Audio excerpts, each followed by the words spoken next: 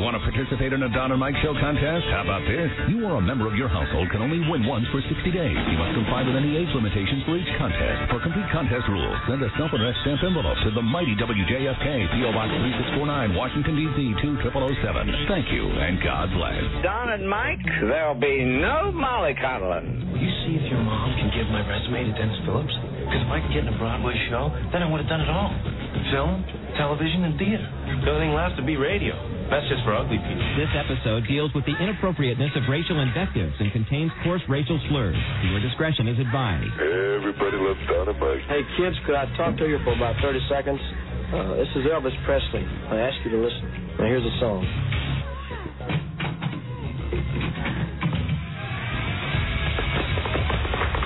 I would like to talk to Christine about something if she's got a second. Oh, Kerner. The lovely Christine Kerner would approach the microphone, please. Christine. I know that this is a very strenuous week for Christine, that she has all of her finals Crazy time for uh, most uh, colleges across the country. coming up this week. and I expect, hi, come on in. Out of pressure. I didn't realize you wanted Pressure cooker week. Hi, Christine. I, I want to talk about all kinds of serious stuff. I just want to know about the paper you're doing about WJFK, about how inept this radio station is. no, it's not on that at all. It's not. We have to do like a 25 page case study Of, uh, on of an your- your organization internship? that one of us is involved in. And we decide, well, they decide that we should do WJFK. So. Ah.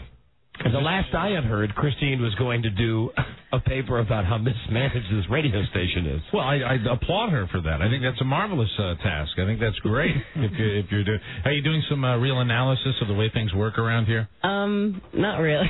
We're kind of putting this together in three days, so. Three days. So, so it's due a on- rush job. Yeah, it's due on Thursday. We're supposed to be doing this for a while, so.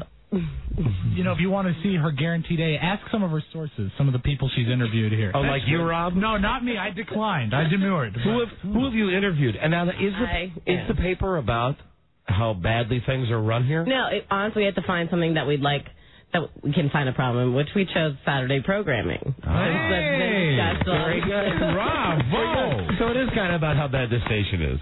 Just on Saturdays. Just on Saturdays. Just the programming. on So, uh, who granted you an interview for this paper? Uh, so far, just Jeremy. I still have to get Jimmy and a couple. I need about. You're going to get an F if you had to interview Jeremy Coleman. I still need about three more people though. And uh, well, Jimmy, uh, he's a great source of quotes. If you can decipher the Now, are you, when you interviewed Jeremy, did you come to it as did you come to him from the perspective of listen, the station really sucks on the weekends, or did you come to him and say you do such a great job promoting and and programming on the weekends?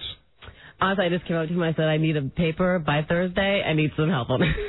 So you you went with the I'm a college student Yes, in I went need of that. help mm. Mm. Yeah. instead of like starting the interview with Hey bud, what's your problem? Now, the focus of the final paper will it be positive or negative towards the weekend program, the Saturday programming on the station? I'd like it to be positive. You'd I have like it to with be positive positive. strategies to improve it. So. oh, you have. Yeah, we have to do 25 pages. We got to break up, break up a lot of ideas. You ideas. know, you are not. It's so funny because this is you. Are, you you can care what the paper is. It's just the twenty. You want to knock out the words Yeah. and get it done, right? 25 pages. Are you allowed to double space it? Yes. Make it like Michael Jackson's I'm book? be putting pictures in this 25 pages. Oh, you'll be putting pictures in. What are you going to put pictures in of? of like the whole like station publicity. Uh, we're doing anything that we can film. Twenty-five, like one page, one line of text, and the rest twenty-four pages of pictures. That's our strategy so far. Yes. And what class is this for, Christine? Organizational communication. And I like the way you say organization. You say it in that Canadian way, which is kind of cool. Organizational. You sound like a hockey player when you say Oh, that. You know, it's a great organization. We play great in their building. That's right. I'm just hoping this doesn't get back to my professor right now. Professor backwards. Professor from Gilligan's Island. Professor Irwin Corey. Hello, Christine. It's time to read your paper. Yes, sirree. Oh, I see solutions for the Saturday dilemma at WJFK. And I- thank you, but lovely pictures. I think that technically this would count as an interview with me and Mike about your paper. That you That's could probably waste at least a page few sources I have. of double spaced words talking about us talking to you about this. You know, I know if you interviewed one individual, you get about probably 50 pages if you wanted to ask a certain individual about the uh, weekend programming. Who's here. that? You're looking at him right over there. Don would. do. Have you? You could quote him. Just get the tapes of the show where he talks about the weekend programming here. Sucks, Christine. It's ridiculous. It's an embarrassment. You can quote me on that. I think the weekend programming on the station is an embarrassment. I think it's great. You get balance by talking to Jeremy, then you talk to Don, and then you get Tim McWilliams.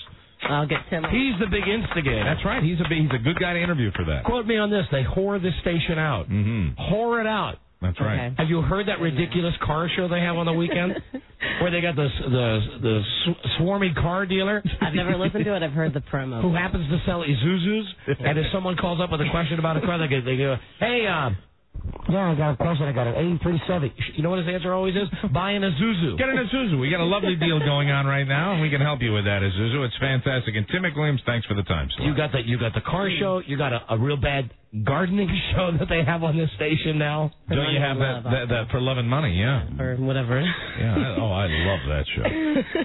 I listen. to I'm riveted when that show. This station, they forsake th- getting an audience on the weekend Mm-hmm. because all these uh, clients will pay money for an hour of airtime. Yeah.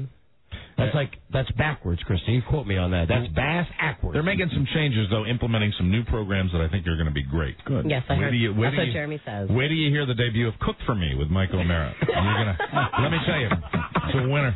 It's a winner. It's a 15 minute show. I'll have to incorporate that. into There you my go. Good idea. Quote me on that. I'm serious. I've been in the radio business 25 years. The programming on this station on the weekend blows. I'll put that in direct quotes. I could program this station in my sleep. I swear to God I could.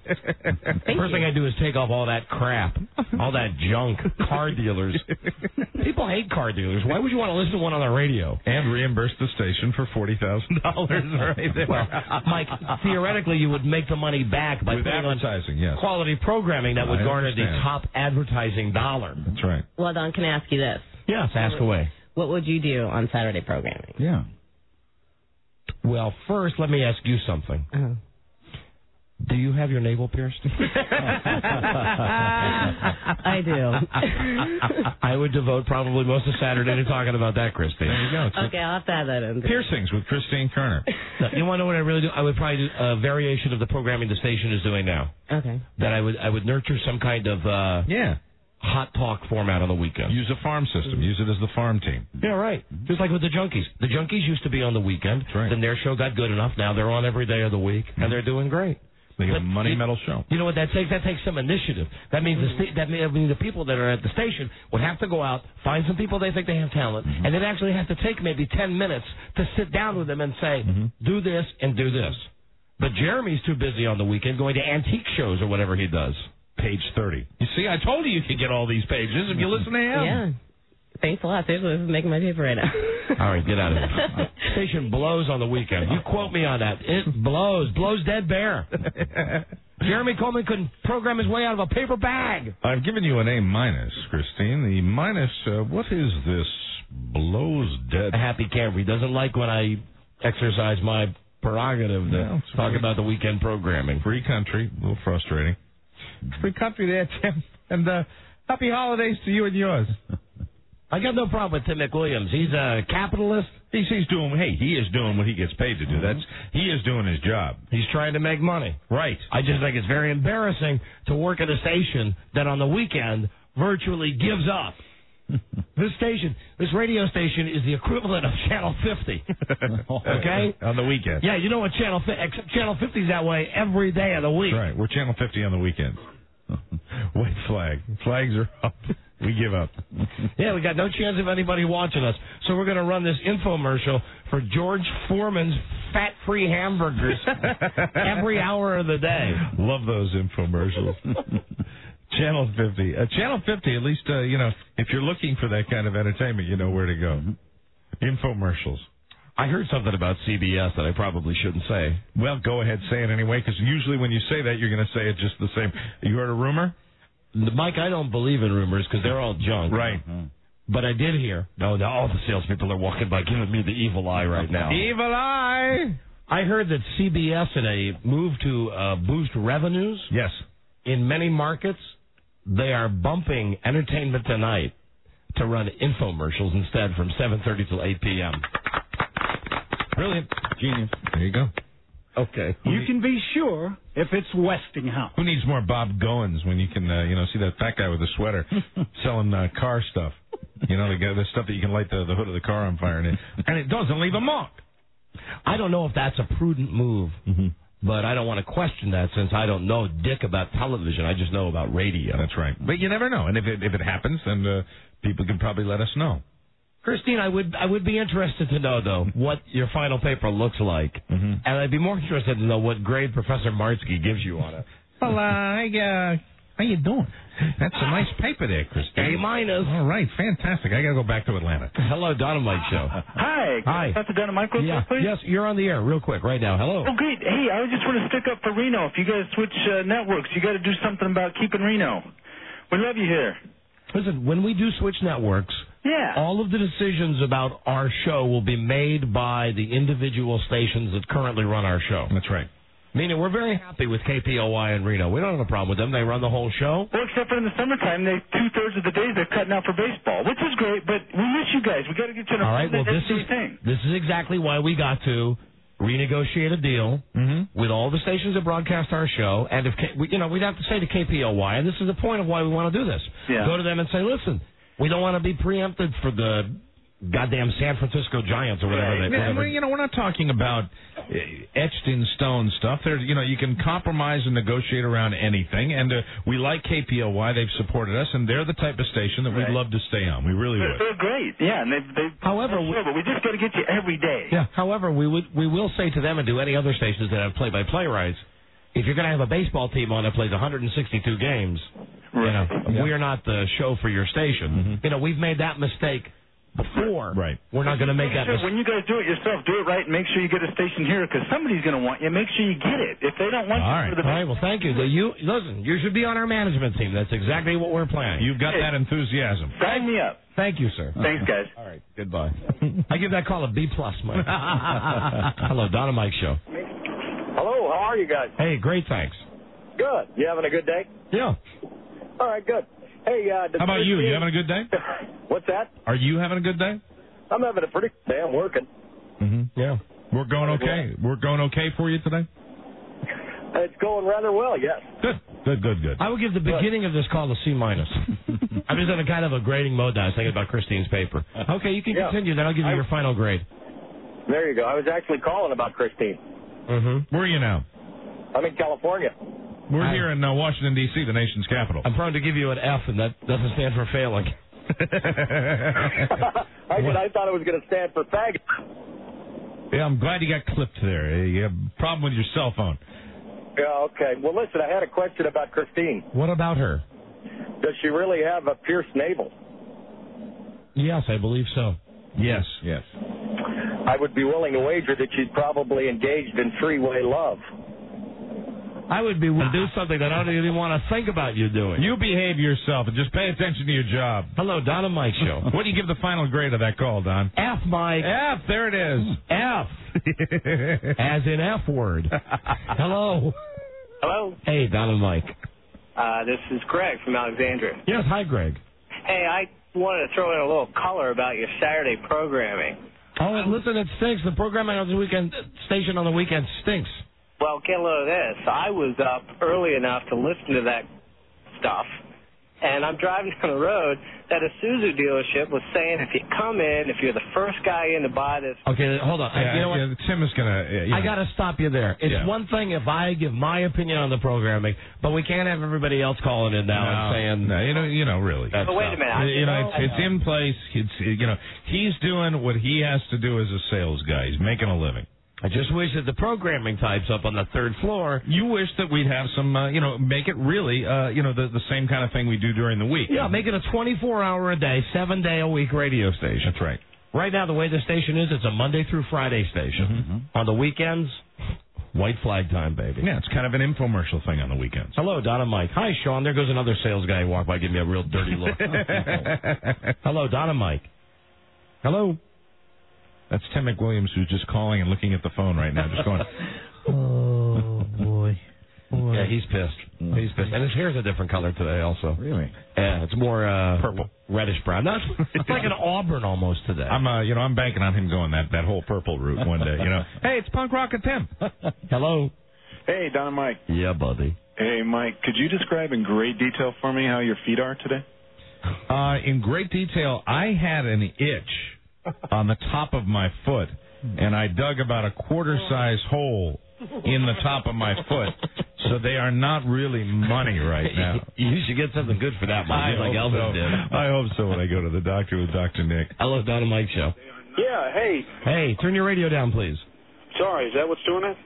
Yeah. Um, listen, I thought I'd uh, call and see if I could talk to Don and Mike about uh, Christine's body piercings.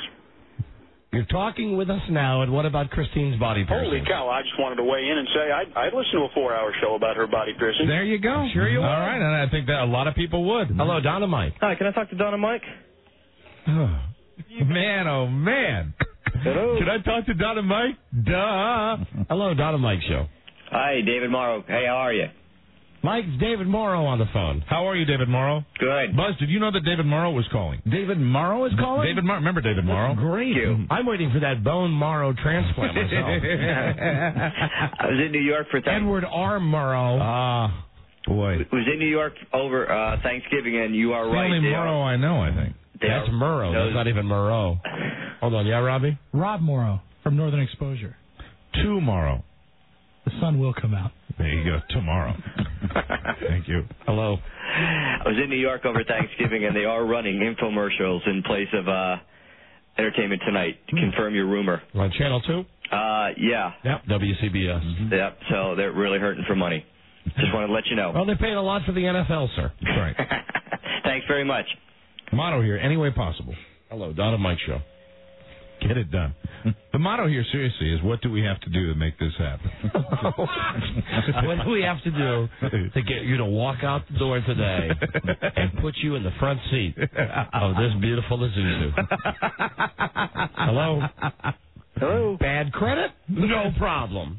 What do I have to tell you to get this deal done? Listen, I'm going to talk to my manager. well, he's never done this before, but I'm going to be able to give you. I don't want the undercoating. You lied to me. I'm going to be able to give it to you for four hundred dollars. Oh, Jerry. Jerry, Jerry. What's your fee? What's your fee? King of Queens did a pretty good job with the car dealership mm-hmm. last night. I thought that was, you know, it was reasonably accurate. You know, when they when they ha- when they have a hot selling car, and Yeah, when completely blow you off. Kevin James wants to dicker with a guy, and the guy just said, "Hey, listen, tying his shoe outside. Sticker price is sticker price." That's right. And then he goes and calls calls his wife. What are we having for dinner tonight? And, and Kevin James thinks he's really going to negotiate. It doesn't happen. Hello, Don and Mike. Hey, Don and Mike. How you doing today? Hey, Baldy. Hey, uh, Mike, I wanted to ask you about your golf game. Have you been logging much time on the course these days? No, I haven't, and I miss it. I, I just haven't. I mean, it's been about uh, probably over two months, uh, and I probably like played one one time in that whole time. It's like a drug, boy. You just you need it again. Well, you know, I mean, I'm I'm, I'm looking for spring, but this winter I'm trying to do some other things. I'm uh, I'm working very very hard. Mike's getting to know his kids. I am actually going to try to familiarize myself with both my children. That's great. Yeah, it's terrific, and they're they're they're so cute. it's fantastic, and I really hope that uh, before you know late March, early April, I, I I really get a hold on who they are. I'm looking forward to that, and then we'll see them next fall. Hello, Don and Mike show. Hello, Don and Mike. Yeah. How y'all doing? Great, thanks. I got a complaint. Fantastic. Love complaints. Now I know you do. It's about this intern, Christine. What possible complaint could you have about Christine? She's too damn smarmy. Smarmy. That'd be the last word in the No. world. Wait, give me a definition of smarmy, you, sir. you're just describing her voice? No, I'm describing her altitude What do you mean her altitude? when she answers the phone. Yeah, explain, and I want the definition of smarmy. I want you, as you, you're calling her smarmy, and I don't think she fits that description.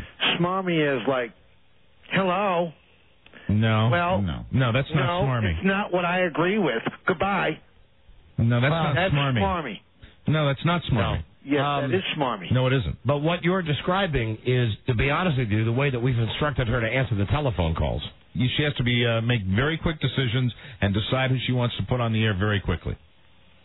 So if she was curt with you, She was curt. It's because time is of the essence. Okay. And smarmy would be, Hey, how you doing? Hey, hey, you guys! I listen to your show. Can I? uh No, that's uh, not smart. That is Yeah. smarmy. Yes, you're is. smarmy, man. No, that's not smart. No, you're smarmy. You don't know what smarmy means. Don't I? No. No. No. What does smarmy mean? I just explained it to you. I gave you an It's like example. uh, Slicky Boy. Like, hey, how you doing, man? I'm, I'm the coolest thing around, man. Smirky. Be another word. Smirky. Kind of a guy that's always smirking. Exactly. You know, a guy that's kind of okay, slithery, kind of slippery. I see that. I see that. That's not Christine. Well, I don't know. Oh, You know, come when I on now. called Before, no, when I called Listen, you're just bitter because you call and she won't let you through. Because you know, I don't blame her for not letting a guy through that doesn't know the definition of words. Oh, for God's sake! Right. When what does that mean? How many times have you pleasured you pleasured yourself while you've been calling Christine? Be honest with me. Do not lie to me. Never. Never. Never. You've never touched yourself when you've called her? Liar, liar. Absolutely not. I don't believe you. Liar. There's the problem. Immediate disqualification. Hello, Don on. He's touching himself when he was calling us there. Hello. Hey, man, how's it going? Touching himself all over. In the bad places, too. Not just there. Oh God. All the places, Mike. Oh man, pillow talk. Hello. man, that guy has no idea what he's talking about. Of course not. He's the nicest person in there. Mm-hmm. But she, between all the people on this show, she is the nicest person. I will give you that. Absolutely. Yes, and for a weekend show, you need to get Dr. Hitler, the guy who called in earlier with the one nut to get a show. Dr. All right. Hitler. Oh, the guy that didn't think I should uh, get an advantage in the peeing contest because I only got one kidney. All right, Dr. Hitler. That's terrific. Hey, Christine, I bet you feel pretty good about getting a compliment from that guy. I looked down Mike show. Uh, yeah, what's happening, man? Say what you will about Dr. Hitler. Mhm. He made good roads, man. he was good in the beginning. That's what Marge Schott told me. Then he went nuts. Hello. Hey, what's That's the name of Marge Schott's gynecologist. Dr. Dr. Hitler. Hello, Marge Schott. hey, what's Christine's cup size? Don't know. You don't know? Nope. You Don't no know. idea. Never look there, sir. Uh, He's touching himself in the bad places, too. I Always look her right in the eye. Because I'm a gentleman. You are. Fine gentleman. The fine gentleman from Virginia. And so are you, Mike. Bully. Bully. Bully. So are you. Ditto. Ditto. Hello. A couple of fine gentlemen doing this show. Hello. Hello, Donna Mike. I don't have all day to wait for you. Oh, is this me? God. Jesus. Okay. I got your I got your definition of smarmy according to Merriam-Webster. Revealing or marked by a smug, ingratiating, or false earnestness, a tone of self-satisfaction. Exactly what we described. Mm-hmm. Thanks so much. That's No a- problem, my pleasure. I like, to, Confirmation. I like to think that's one of my best traits. I think I'm kind of a smarmy guy. Exactly. Thanks, Thank guys. you. Goodbye. Don't patronize me, sir. I don't think I, I don't think there is a smarmy bone in your body. Oh, I think there are, Mike. No, no, this uh, you're far too direct for that. Maybe my coccyx bone. Do you know who? smarmy? Do you know who, in my opinion, is a little smarmy? Do you know your coccyx is like your buttock? Yes, it is. You have to word. It's It's called tailbone. coccyx. Yet it has to do with your buttocks. right. No. Who's all right? Who's swarmy? Here at Smarmy. the station, I give you Smarmy. Smarmy guys. Yeah. Uh, Mitch Johnson would be, uh, I think, king, king, King of O the Smarmy. Yeah. Okay. King of, king of the smarmy. All right. You're right. Yeah, I'm not sure if there's anybody else that would uh, fill the bill. Is that Oh, Jeremy? no, no, no. Jeremy can be smarmy. Steve Johnson is smarmy. Ah, yes, absolutely. And I think Steve Goldstein, when he was here, was a bit smarmy. Could be. he could be. Yeah, he had a smarmy side. he had the potential. When he when he needed it, he could use it. That's right. Yes, he had a smarmy side. He could also be very direct. Hello, Dynamite Joe. Hi, I have a story about hair being a different color. My dad dyed his hair one time because the time before he died, it was grayish yellow. Wait, wait, wait. Hold on. Your dad died? No, he went to dye his hair a different color because it, when he dyed it before, it, it turned out being yellowish gray and it was really icky looking. Oh, this would be like a, a story to follow up on Tim McWilliams, who's constantly dyeing his hair. Okay. Yeah. Okay. And he dyed his hair flat black, and it ended up looking and feeling like the same texture of Ernie and Bert's hair from Sesame Street. Uh huh. So And he, it was really ridiculous. It was so funny. It looked just like Ernie and Bert hair. did it look like Harvey Firestone? Don't know who that is. Roy Firestone, not Harvey Firestone. Dom Capers, another guy with that bad, like, painted on hair. Saw a little of uh, Roy Firestone today interviewing Mike Tyson, and he had that orange hair again, and it's just hard to ignore. Can't be real. Well, that was a lovely story. Thank you. You told it well. With such enthusiasm. Thanks. Bye, guys. Bye. Merry Christmas. Merry Christmas to you too. Have a have a smarmy smarmy Christmas. Have a smarmy Christmas. Smarmy. Okay. Wouldn't it be great if, if there was really? How about a TV special, a, smarmy? very, a very smarmy Christmas. Well, you know, and, and you Hey. just start out with a guy like right up close to the camera, Hi. going, "Look who tuned in." this is Brad. I'm sorry, Mitch. This is Mitch Johnson. Mitch Johnson and Yeah. Merry Christmas. We're the Johnson brothers, Mitch and Steve. Hey. Merry Christmas. Yeah, bet you're liking your Christmas, huh? But uh, you're pretty excited about everything. Yeah. I'm gonna get better stuff than you. Because I'm Mitch. Whoa. Brad or Steve, whatever those guys' names are back there. Welcome to a smarmy Christmas. Hello, last call. We got a break because Coach Norm's coming on. Hello. Don? Yes. Hey, did you guys mention Vic Morrow in the Morrow game? Oh, Vic Morrow. He died during the making of the Twilight Zone. Right, yeah, Oh, got yeah. Uh, blown up real good on a helicopter crash. Morrow. Combat, Miss Vic Morrow. Should have had him. Thank All you. right, thank you. Do I win anything? No. Oh, come on. Just my s- smarmy thing. Can I win, Christine? No, come on, hang up. All right. Goodbye. Bye. We'll we'll be right back. This is the Don and Mike Show. In 1898, Spain owned Cuba outright. Think about it. Cuba owned by a disorganized parliament over 4,000 miles away. Cubans were in a constant Cubans were in a constant state of revolt. In 1904, the United States decided to throw a little weight around and uh, who is it? It's a pizza guy. Again? Mr. Pizza Guy, sir. Order the double cheese and sausage. Right here, dude. Am I hallucinating here? Just what in the hell do you think you're doing? Learning about Cuba, having some food. Mr. Spicoli, you're on dangerous ground here. You're causing a major disturbance on my time. You know, I've been thinking about this, Mr. Hand. If I'm here and you're here, doesn't that make it our time? We certainly did nothing wrong with a little feast on our time. You're absolutely right, Mr. Spicoli. It is our time. Yours, mine, and everyone else's in this room. But it is my class. Hamilton, Brandt, Kornfeld, up front. Mr. Spicoli has been kind enough to bring us a snack. Uh, Be my guest. Help yourselves. Get a good one. The Don and Mike Show. And why doesn't the press search harder when it involves pro-lifers? They certainly do when it's pro-choicers.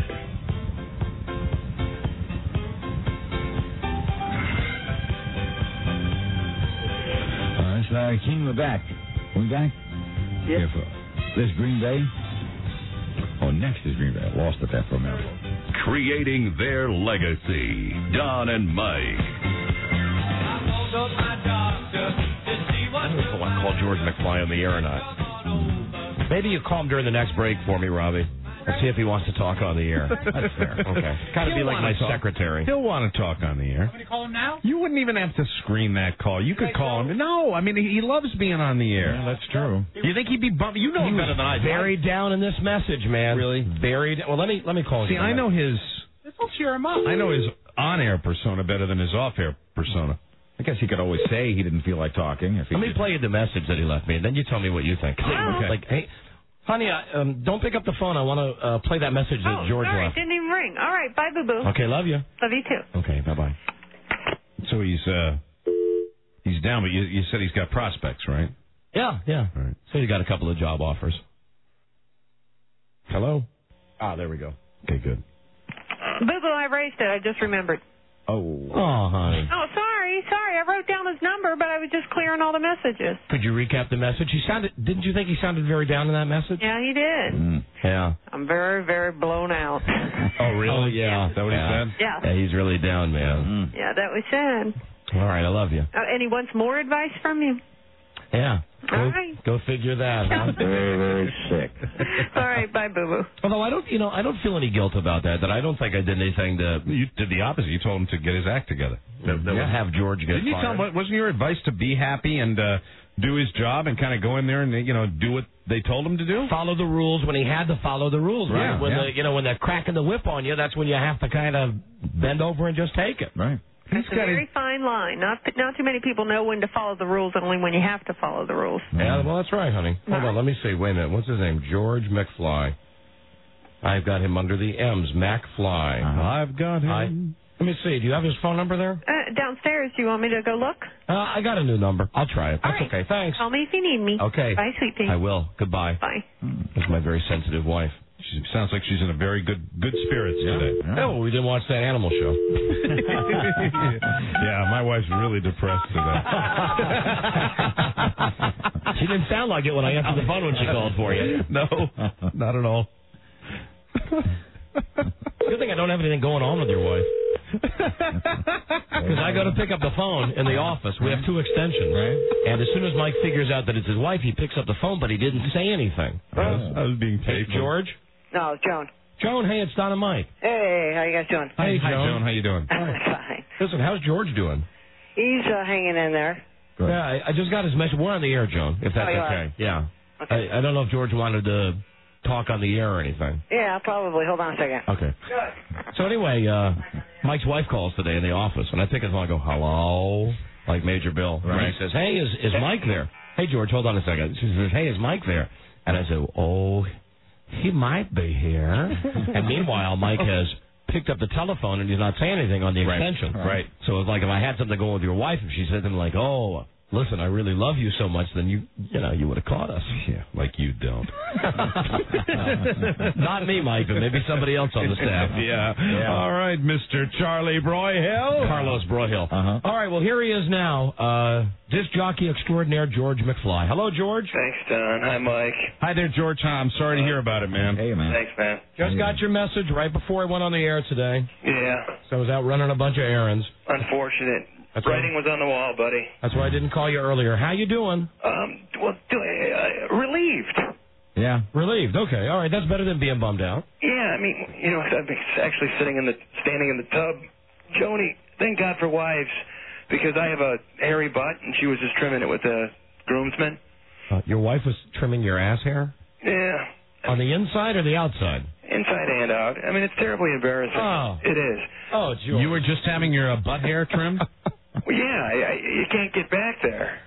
Oh, George. How much hair do you have back there? That's weird because you notice I'm not a very hairy person. Like on my chest, I have some and everything. But just all of a sudden, I don't know if it's from the steroids in the past or. She must really love you, man. But Sasquatch ass. She must re- she must really love you. Wow. Yeah. Have you open up those two pillows and then My God. got the jungle in there. Did you soak for a while before you started that procedure? No, it's not with a razor. It's with that dry groomsman. Yeah. So the drier, the better. A, a beard trimmer.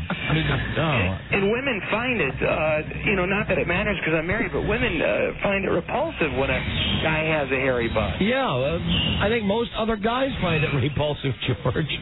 What's that? Uh, how about you guys? I mean, do you? I don't have a particularly hairy butt, and I got a lot of hair all over my body. No. I am virtually hairless everywhere. No, not yeah, it's you got some Indian in you, though, don't you? Which which one are are you talking speaking to? You talking to me? me? No, George, that's a made-up name. No, I know it is, but I mean, literally, don't you have some Indian in you? I don't know. You know I'm adopted. I don't know what I am. Oh, I bet you do because you know Indians, the Cherokees, and all those people, the Cherokee people, they uh hairless. Okay, listen. Tell us about what happened. Now, uh, contractually, are you okay to be on the radio now? I know that they had yelled at you before for coming on our show there. Yeah, did you do you remember what what I told you? What the write up actually said? That I, I'm no longer able to, you know, talk on the air with you guys. Yeah, and you had also gone on the air at your other friend's station there in, in Denver, right? Yeah, but they just called me Freaky George. It wasn't, it, you know, we didn't say McFly or anything. All right, so I mean, is it okay now for you to do this? You're not in any violation or anything? Yeah, I'm completely unemployed. Oh, okay. All right. Well, listen, buddy, what happened? Um, oh, well, you know what happened. I mean, my contract was up, and you know, Don, there's so much truth in the heart of it. That's why I told you I feel relieved. And I I mean, no kidding. It's because I will not do, I will not play that music ever again. You know, I, I'm not, I wouldn't let my daughter listen to it. You know, eh, Oh, yeah, did Georgia station like a hardcore rap station? Yeah. yeah, like uh, hey, holler if you hear me. Hey, let me hear you say uh. Oh, yeah, I know. That music's annoying. I mean, it's really, really bad. All right, so listen, you got canned. Did you get any severance? Uh, no. No. Ouch. Don't they have to give you some kind of severance? No, my deal was up. no. All right, then what are the prospects? Let's work on the future. Okay. Uh, West Palm Beach. I mm-hmm. got something cooking in the mornings. Oh, that's a good place for you. Well, you know, I, thing is, remember, guys, I've never been about money. I mean, I'd do this for food money if it was the right format. Remember how much fun it used to be? Well, I'm just saying the area. I was thinking more like the area. Like you, you'd be a you're a Florida beach kind of guy, George. You could get like a Rockford Files trailer and live down by the beach. Yeah, you'd be happy. love- You'd like that even legal? you'd like the climate, wouldn't you? Remember, yeah, remember like Mel Gibson in Lethal Weapon when he had that trailer on the beach? Is that legal or is that just? That's very much for those of you trying to get a mental picture of George McFly. Yes. Please think of Mel Gibson and how scatterbrained he is in the movies Lethal Weapon, and that is right. our man George. Ah. Scatterbrained. All right, that's that's option number one. George is West Palm Beach. What else you got cooking? Two things going on in Chicago, believe it or not, my hometown. All right, what are those opportunities? Um, there is uh, it, this latest rage with this company is Jam jamming oldies. It's like uh, I don't know. I guess like Donna Summer Bad Boys and uh Uh, sounds to me like music you'd hate. no music that I dig. Music, you know. I mean, Disco. well, Are you a disco guy, George? no, but anything with a beat. See, my problem was with You were just rap. working at a station with a beat. No, but there was no, there was no intros. I don't want to get too inside and boring, but uh, you know, it, You can get inside. It's all right. Our audience understands you. When you talk about intros, he means since George plays records, he wants to work at a station that has lots of time on the intros of records where he can talk. Yeah, that's Right. understandable. Yeah, and that's that's normal. Right. And so uh, at this anyway, so this uh, jam and oldies format um, looks good in Chicago. What is the format in West Palm Beach? Oh, completely mainstream, straight ahead, uh, top forty. You know, you know, great Goo Goo Dolls, that kind of stuff. That already sounds better to me than you going and playing disco records. But what's your third option? Okay, uh, Dallas with Joel Salkowitz. The, the guy, he's a great guy. Joel Salkowitz. He, he hired me. in New Joel York. Salkowitz from the one up yes, in New York. from Hot 97. Joel Oh, Salkowitz man. is the Antichrist. He's Satan, Satan, Satan. Satan. You guys even know him? Yes, we Yeah. know him from Hot 97. Oh, he's a great guy. One of Oh, my- he's a Nimrod. No. Christ, they brought him in to try to step on our show when Is we worked still at Emmis? Is it still Emmis that he's working for? no, he's with Chancellor. Mm. I, don't- Anyway, from what I, I wouldn't. I wouldn't trust Joel Salkowitz. just a feet up, very laid back. Uh-uh. I love that. He's a dick Well, in man. fairness, we didn't have a tremendous amount of contact. But do you him. remember they brought him in to be like an out-of-town consultant for our show? Yeah, we see that goofy guy like. I every once in a remember him. You do. Big bushy beard, little round glasses. Hey, your show's good, but uh, But hey, what? you, you guys are just doing too many bits. Well, you know, We he- got to play the hits, man. I remember. I, listen, that's one thing I do remember. Every goddamn consultant and program director that Yeah, ever gave me a hard thing. time, Yeah. I remember. And Joel Salkowitz stifles creativity. And he's with I'll the bad company, the company, the company we recall, hated. Yeah. just the opposite. But you know, I was I was young, and he just left me alone. You know. Uh-uh. I'm telling you, that guy's bad news, man. What I recall, great guy. Uh, but listen, You next, I gotta make your own decisions, George. You really do. Sure. next, Oh, uh, yeah. there's a midday opening. It's it's Star in L.A. Oh, that would be a good job for you. You know, ju- just because. You know, L.A. and normal format again. That's a good station. Star 98.7, you'd be good there. Yeah, and so um remember these I got no offers yet, but all bites, nibbles, you know. People calling me up and just wondering what's All going right. on. Whatever. Here's how I'd rank them. Okay. First would be L.A. Okay, because you'd be able to make the most money there and get the most exposure. Right. Second, I'd say West Palm Beach because you'd be able to branch out and be creative doing a morning show. Third, disco in Chicago. Fourth option, Joel Salkowitz. Salkowitz, Do buddy. you guys know Chris Shebel? Chris Shebel is one of my best friends. I'm not no lie. Because he, no, I'm kidding. No, uh, no kidding. This guy is putting on a station in Chicago. Is he the guy in Chicago? Yeah, no, this is another one though. This is a top 40. But uh, Don, it's called a tri frequency. Help me understand this. It's like six thousand watts. Oh, they got so they have three different dial positions because they don't totally cover Chicago. I'll tell you this: as I was running down Salkowitz, Mm-hmm. I would run up Chris Shebel. Chris Shebel is a good guy, man. Yeah, Do you remember him, Buzz? I, the name's familiar, but I can't put a face with it. yeah, remember He worked at he worked at WLS when we worked at uh, WBB. He worked at WLS when I worked there. He's uh, kind of pasty, almost looks albino. Bl- Blonde? Yes, Yeah. uh, very very blonde and asexual. For a long time, we thought he might be a queer, but as it turns out, he was just I think I met him. Yeah. he was just like not into men and not into women. He's just asexual. Really? Interesting. Well, Yeah, but a, but a good guy. Radio. Mhm. Really good guy though, man. but he's got all all day parts open, and like I said, it's it's it's home. But when you press, let's say you're driving around Chicago, if you press scan, you don't pick it up. So, I, I, man, I want to believe in it. I want them to win. I would put him above Salkowitz. I mean, and you can drop my name with Chris Shebel. Please do. He's I one of the few, one of the few guys in this business I get along with. I didn't put two and two together, but I, rem- I recall that you worked at LS, and so did he. Yeah. And um, so anyway, so that Jam and Oldies format is going on in Dallas and in Chicago, Yeah. and they're going to fly me out next Saturday to do an air shift in Dallas. I just think it, you're not going to be happy playing disco music, George. Well, he wanted me to. He asked me if I'd be comfortable um, talking to the listeners uh, and, and not shucking and jiving over the intros, which uh, I thought I was going to be able to do. But it's the demo is 35 year old women, here I'm a 35 year old guy, and uh, you know, just more topical, almost like a hot AC approach. Well, listen, you got to do what you think is right, but I, I know the real George McFly is the guy that we've been talking to right now who would probably really like to talk about his wife cutting his ass hair. Mm-hmm. And I know that if you go to work at a station that is targeting 35 year old females, Yeah, they would want to hear about the ass trim. That's right. Sorry about that. I just, you know, all of a sudden I was back in the hallways at WABA. Sorry about that, George. You relaxed It's okay. me too much. No, I mean, I mean It's that okay. that part of it is very embarrassing. But uh, you know, the fact is, I mean, But you know what I mean, George? You are you are a crazy individual, and I could picture you working at a station that targets 35 year old females, and the first time you do something that's off the wall, they're going to call you and give you all that crap. You say. Picture the ideal 35 year old woman. we want you to talk about the things you're talking about. Yeah. Talk about Ally McBeal, buddy. Yeah, that you'd probably be frustrated in that situation. You know, that's what's kind of exciting and why I said at the beginning of the conversation that it's almost like a relief because you're right. Now, it's not like it was 10 years ago where LA's calling New York's calling, uh, you know, Chicago for when I was a night jock. I'm getting these weird little nibbles like Anchorage mornings or West Palm mornings. And, Hey, you'd be good in, in Alaska, George. I think you could handle Anchorage. oh, I'd love it. I'm serious. I know you would. You might want to consider that because you could be a bigger fish in a smaller pond. I mean, let's face it, the uh, entertainment options in Anchorage, Alaska, have got to be pretty limited. Oh, I do it. I mean, I mean, seriously, one guy got killed by uh, a moose killed him last year. It was in the paper because he's, he rammed his car into this moose. It's and it's the land. Should have been on that Fox show last yeah, night. I tell you, those moose are dangerous. They were they were on that show last All right, night. hold on, George. I got a perspective offer for you right here. A guy Really? in Easton, Pennsylvania says he used to know you. Hello? Wow. Uh, actually, Easton, Maryland. Oh, Easton, Maryland. Yes. Who is it? Uh, George. Beaver? Yes, it is. Hey, it's the Beeve. I think he called your show before, Don. Is it Beaver Cleaver?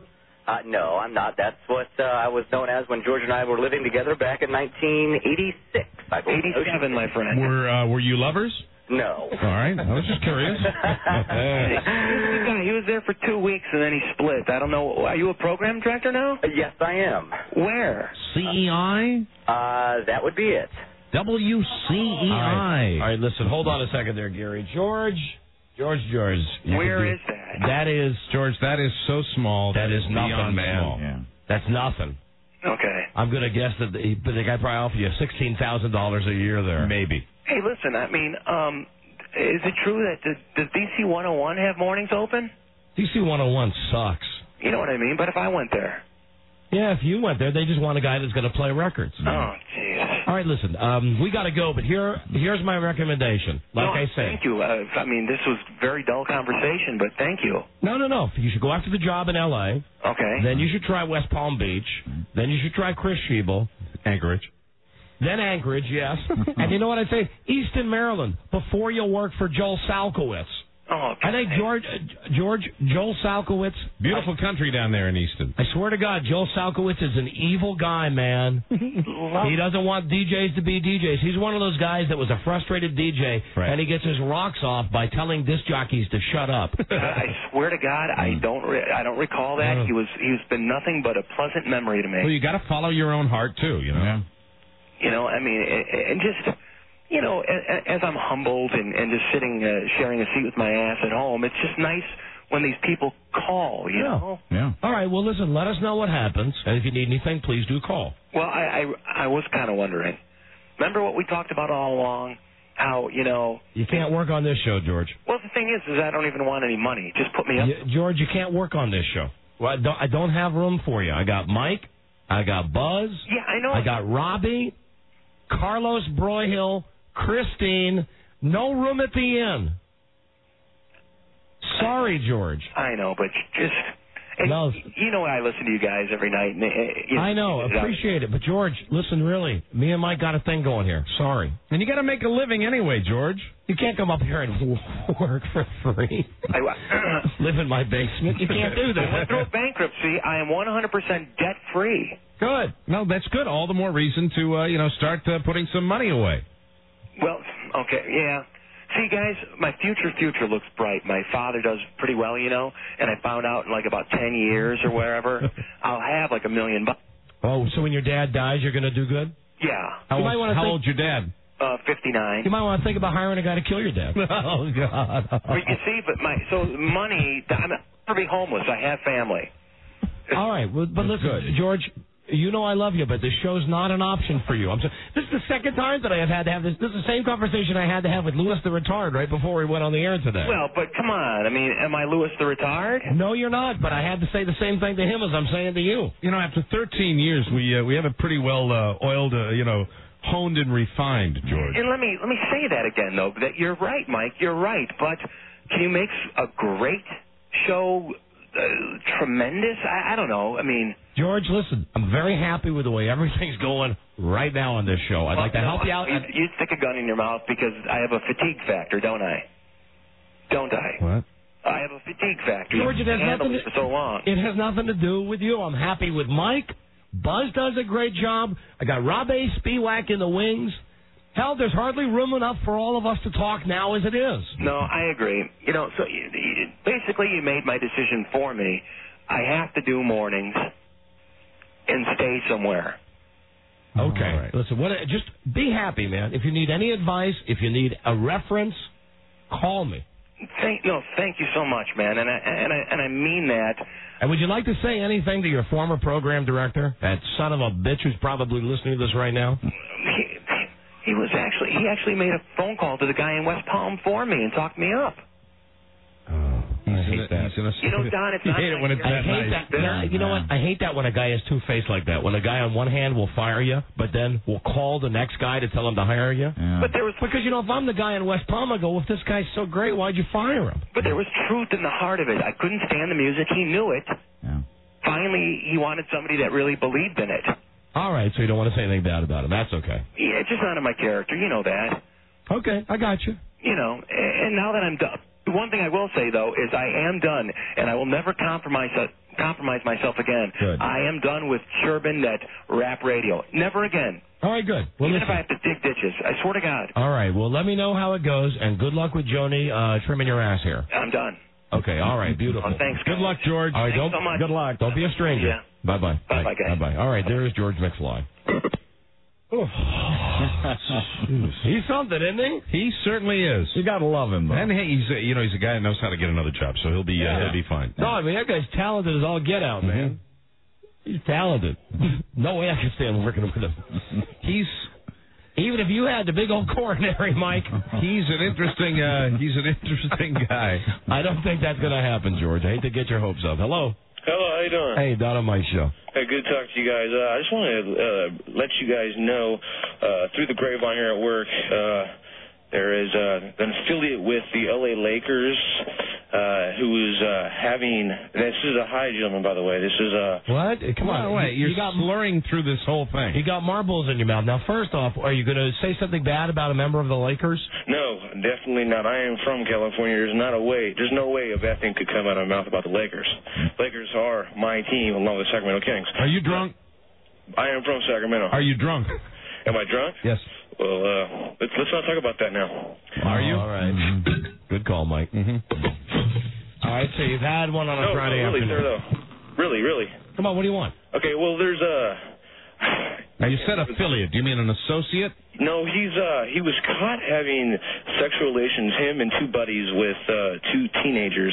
I'm not sure if you've heard about it, but uh Who, you're remember his speaking in I swear to God, I are speaking in such veiled references. Are you talking about a guy who plays for the Lakers. Uh, uh, Reynolds. Reynolds.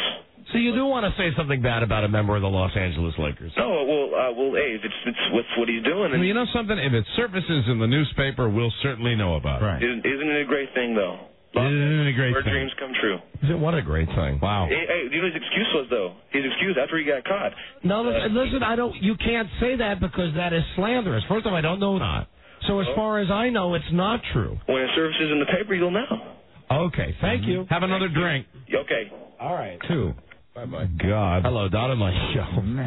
Hi, Don and Mike. It's Angela. How you doing? Hey, we're doing great. Thank you, I'm on Angela. 66 trying to make it home. But anyhow, that guy George that you were talking to and being very generous with, George, listen. he kind of reminds me of Lutard. I mean, Mm. he just didn't get the point that there was no room for Uh, him at listen. your station. George is Oh, like nothing like.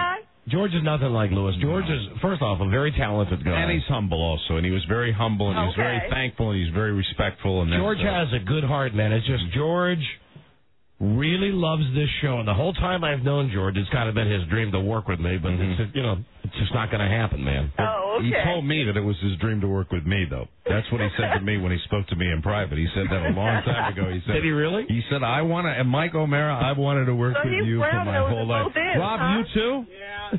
Oh, Buzz, did he ever speak to you? Well, I wasn't going to say anything, but yeah, he did. well, anyhow, Uh, you guys are all just jealous because there's someone else that wants to work with me. That's okay. That's true. That's all right. Don't be threatened. I'm not leaving you. Go ahead. no, I'm not going anywhere. This is the Don and Mike Show.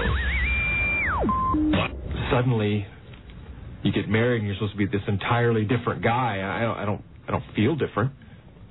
I I mean, take take yesterday for example. We were we were out at the Olive Garden for dinner, which was lovely, and uh, I had to look over at a certain point during the meal and see, a, a waitress taking an order, and uh, and I found myself wondering uh, what color her underpants might be, her panties. Uh, odds are they're probably basic white cotton underpants. But I, I started thinking, well, maybe they're maybe there's maybe they're silk panties. Maybe maybe it's maybe it's a thong. Maybe it's a maybe it's something really cool that I don't even know about. You know, and uh, I I started feeling.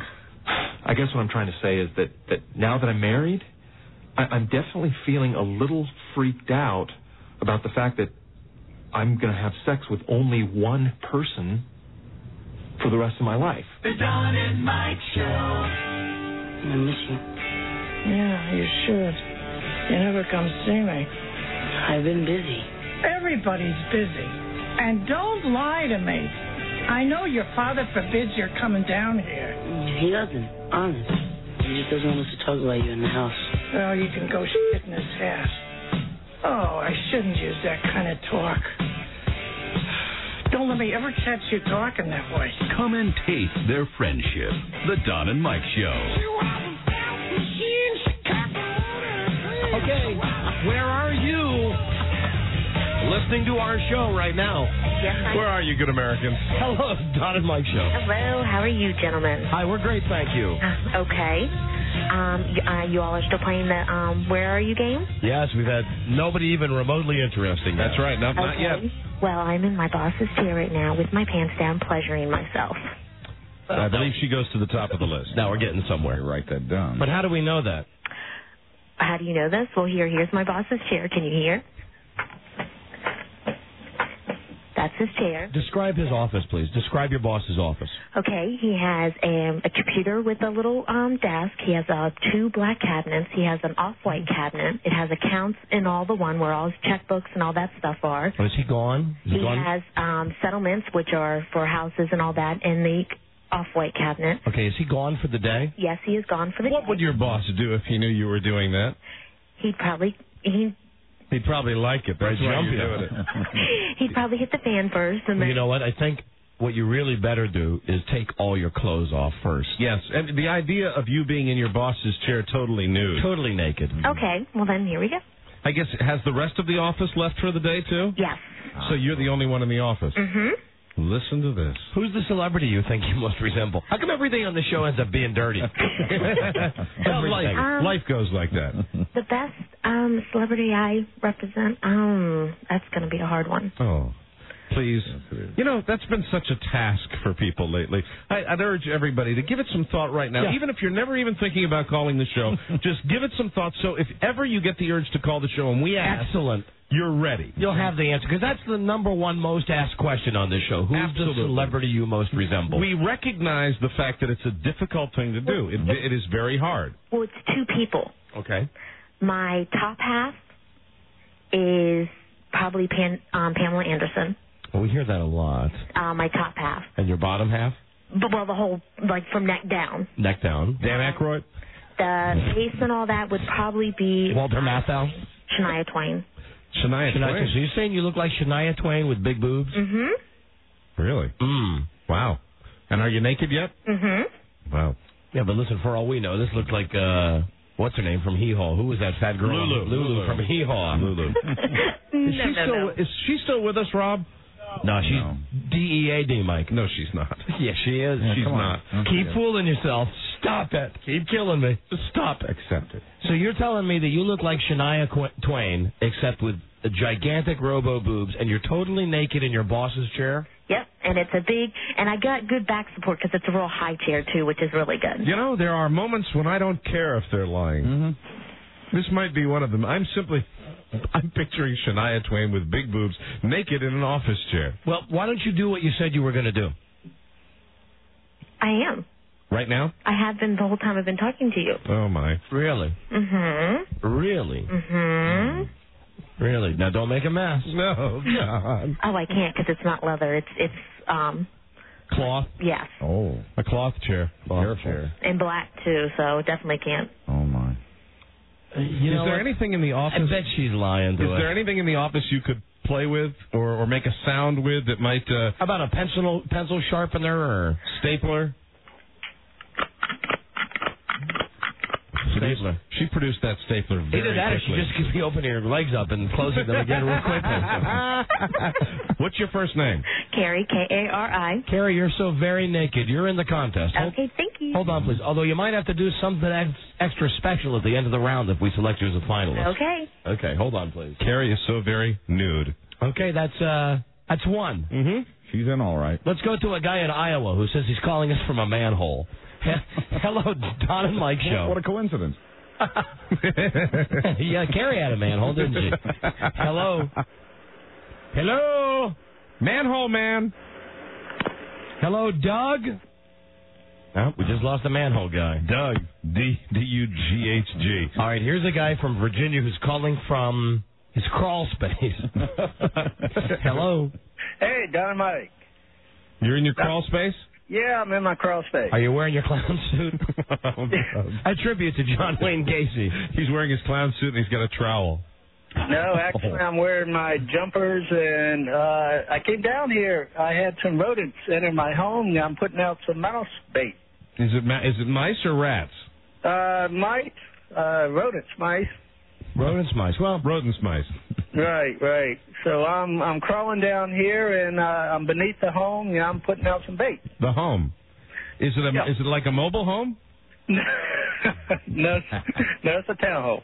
It's a townhome. Well, listen, no offense, not thick enough, I don't think. Yeah, unless you had like uh, you know like that movie Willard, you had rats crawling all over you. Hello, Don and Mike show. Now, here's a guy who says he's calling from a chamber that's used for electronic research. Yeah, Don. How would we verify this? Don. Yeah. I'm calling you from the uh, cavernous expanse of Mike O'Meara's bowels. Oh, come on. come on. It's not on the screen he's calling from a chamber, not from your bowels. It sounded like my bowels. Hello, Don and Mike show. Hey, guys. Hey, listen, I'll say it again. We're looking for exotic locations where Yes. you, our listeners, are listening to this, our show. I should point out the the good example really is a guy called one time from a slaughterhouse, and it was uh, pretty interesting. He was a big winner. He was a big big winner. Hello. Hey. Yeah. I'm in between flights right now, but periodically I listen to you guys when I'm in my airplane flying from Spokane, Washington, over to Seattle. Now, see, uh, if you were in the air, it would be, uh, you know, not necessarily a winner, but it would be a better one. It would be most. interesting Right. at least. You want me to go sit in the plane? It's right next to me. If you could, if if you could sit in the plane and like get plane sounds, blow the horn or whatever blow you the horn. what would you do? I mean, get in the plane and blow the horn. I guess they don't have horns on an airplane. Like in Caddyshack, that horn that Rodney had that goes. Hey, Judge, look at your boat. All right, listen. Goodbye. Goodbye. Let's um, blow the horn. Turn on the directional signal. Let's take a call from Jeannie. Oh, says she's a dominatrix and she's calling from her cage. Ooh, hi, Jeannie. In Las Vegas. Oh, hello, Don and Mike. Hello, Jeannie. What's happening, Jeannie? Jeannie, are you going to uh, do some dominatrix for us? Go on. I Jeannie. thought about your friend um, OJ. You could send him here, and um, I'd let him come in my playroom, get in my cage. You mean O.J. Fisher? Yeah. Now listen, uh, Jeannie. Yeah, time up, Jeannie.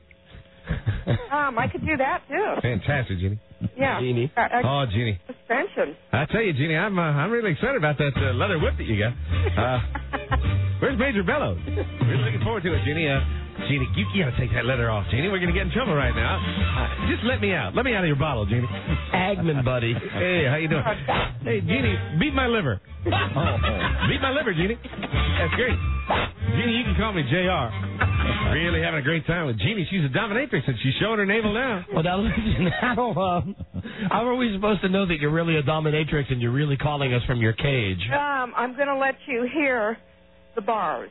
The bars. Okay. Yeah. Oh, I got to put my phone by it. Okay. Can you hear the bars? Hold on.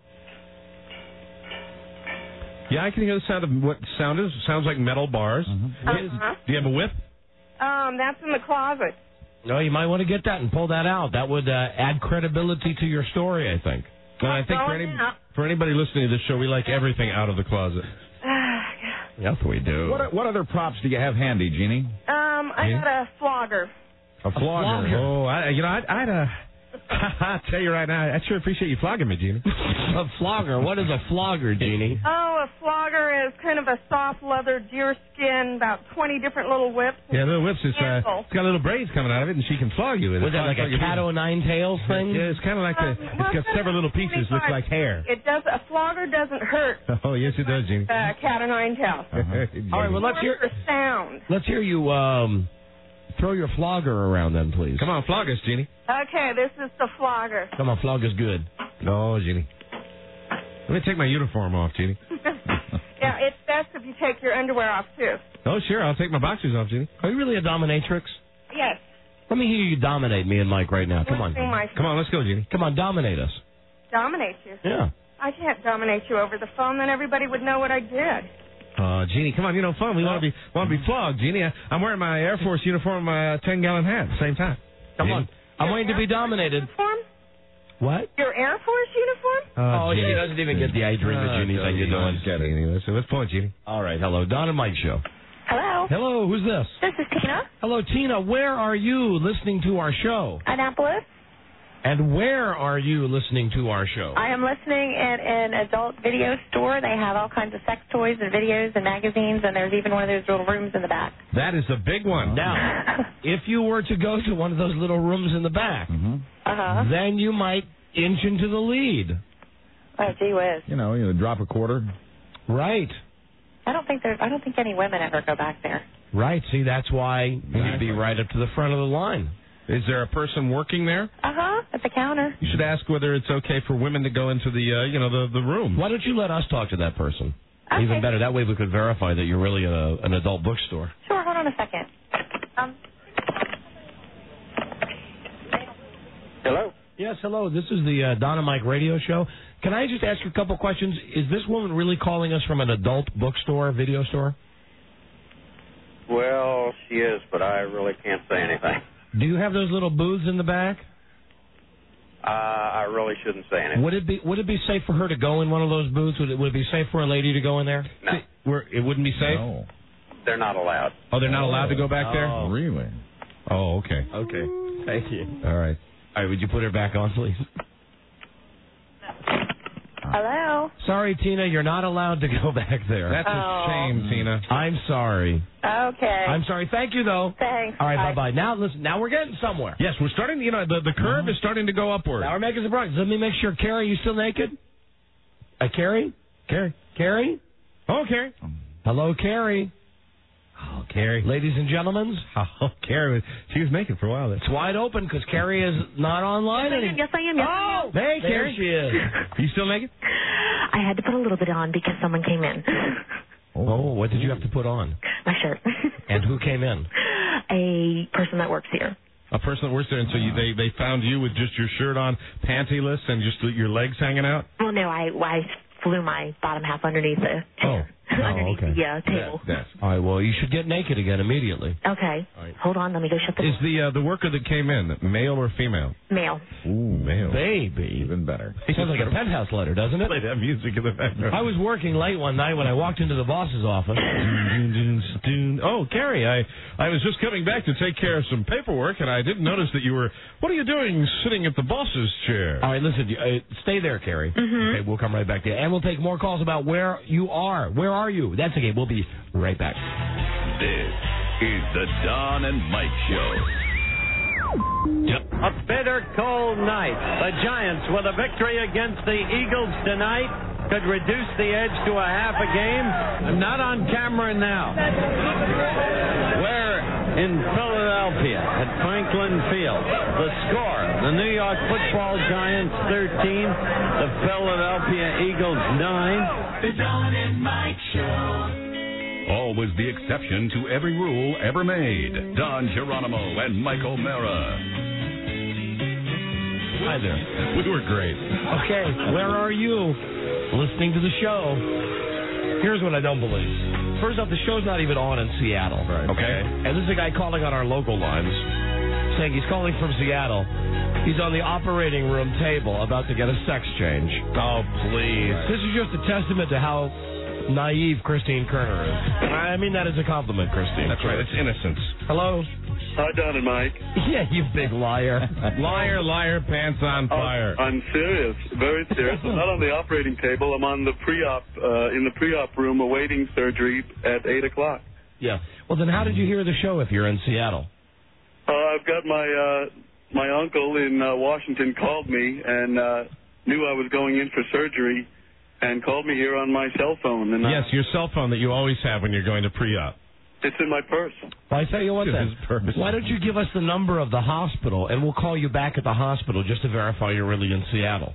That's fine. Uh, I guess you. I have to give you the nurse's station. And, and how many hours till the surgery? There's two hours uh, Uh-huh. till the surgery. If the surgery's at eight and it's three o'clock in Seattle now, that wouldn't add up. Oh, you guys are too sharp. Yeah, of course we're too sharp. Yeah, sharp. thank you, Cletus. Jesus Christ. Yeah, Buzz, he uh, responded to your line of questioning right there. Got him. But, you know, math will always ferret them out. That's right. Hello, Donna Meisher. Now, this guy uh, got some potential. Okay? I don't know how we'll prove it. The guy says he's calling from a Baltimore City morgue truck. Oh, dear. now, how do we prove that, though? Uh, you can call my office. Call your office. You can call the office of the chief medical examiner. Listen, do you have any stiffs in the car right now? No, I'm on my way to shock trauma now to get one hmm. Oh, my oh. God. oh, so you're actually going to have a stiff in the car pretty soon. in a little while.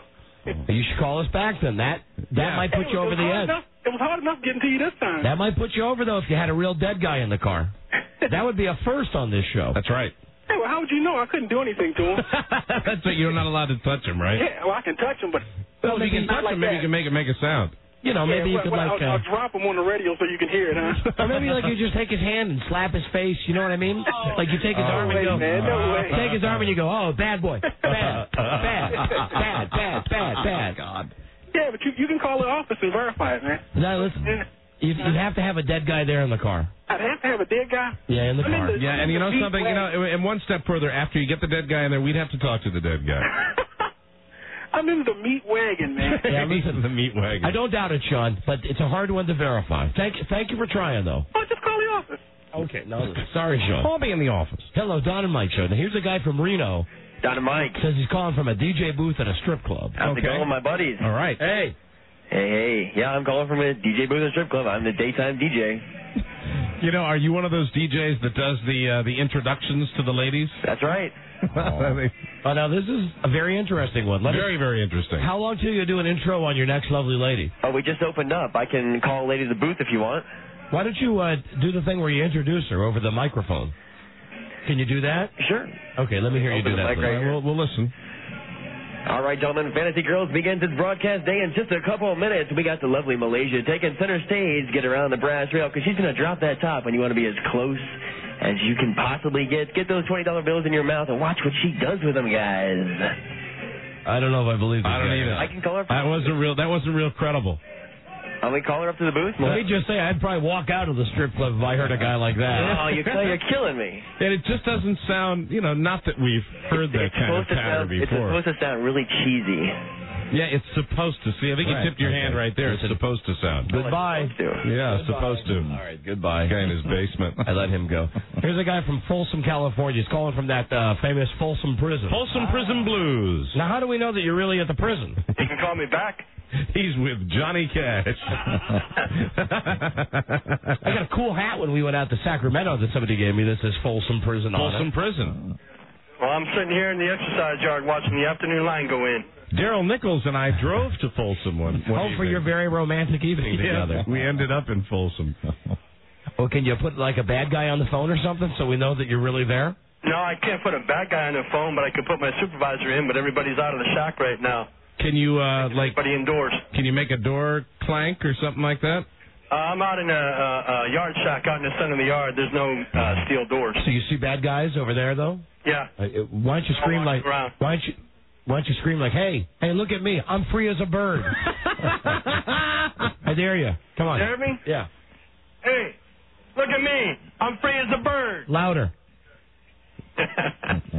Louder. I can't get louder than that, Don.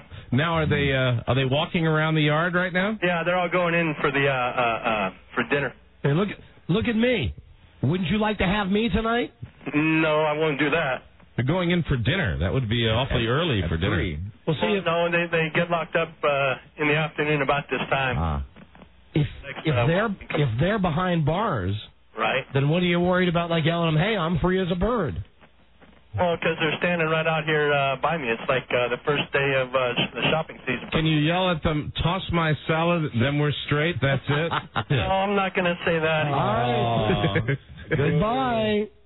I don't know about that one either. Goodbye. Seems to me that'd be it'd take no guts if there are a bunch of convicts behind the walls to scream, "Hey, I'm free as a bird!" Nah, nah, nah, nah. It's that one time when they wouldn't be behind the walls, when you'd have to be walking in the general population that you might be a little concerned about. Hey, wasn't that that uh, that screw that shouted at us from the uh, from the cage? That screw. The screw. All right, listen. Here's a lady that says she's a dominatrix and she has a client with her right ah, now. excellent. Hello, is this Joan? Yes, this is Joan. Hello, Joan, the dominatrix. Hello. Hi. So you got a guy there right now? Yes, I do. He's actually in the room getting ready. How is he getting ready, Joan? Um, actually, I'm making him put on a dog collar, and um, he'll probably just be in his boxer shorts. Mm-hmm. Now, does this guy have a problem with you calling a radio show while you're about to dominate him? Um, well, he better not. You know, I'll just flog him. Are you a real dominatrix or are we being scammed here? I swear to God, Well, you have to make noise. You have to make a like crack your whip. crack my whip. Let's see. Let me go in here and get it. It's always. Why don't they ever have their whips in their hands? Uh huh. You would think they would, Mike. Today's modern dominatrix. It's in the closet. You know, I have to get it. It's in my car. Did you hear that? No, do it again. Okay, hold on. That Sounded sounds like you were stomping your foot. Yeah. I swear to God. Uh huh. No, I don't believe you, lady. yeah, you're an awful dominator. You're not a dominatrix. are That you? liar too. Here's a guy from California who says he's can't, standing in cow crap. Don and Mike, how you doing? This is John, everybody, from Linden, California. That's right. To clean out my truck. Getting ready to clean out your truck. What you just pulled up in back of cow crap?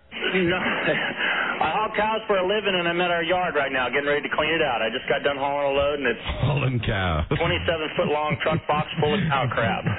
oh, so the whole truck, the the back, the flatbed, or I mean the uh, the tractor trailer has cow crap Yeah. all out, all over it. Kind you see with all the holes in the sides. Do you have uh, like big gloves on and stuff? Do I have what? Big gloves on? No, no gloves on. No gloves. Rubber boots. That's all I got. Rubber. Well, we're gonna have I to prove it. You let's talk to the cow crap. You know, I'm gonna have to hear you. I could turn the big hose on that I squirted out with. I'm gonna have to hear. I would have to hear you like stomp around in the cow crap a little bit. Stomp around. Let's see if you could hear it. No, but I mean really stomp around. It's already going up over my legs. Can you hear it sloshing around? I can practically smell it. it does stink in here. You want me to turn the big hose on? Yeah. See, I don't know. This guy could just be standing in the middle of an empty room, though. Absolutely.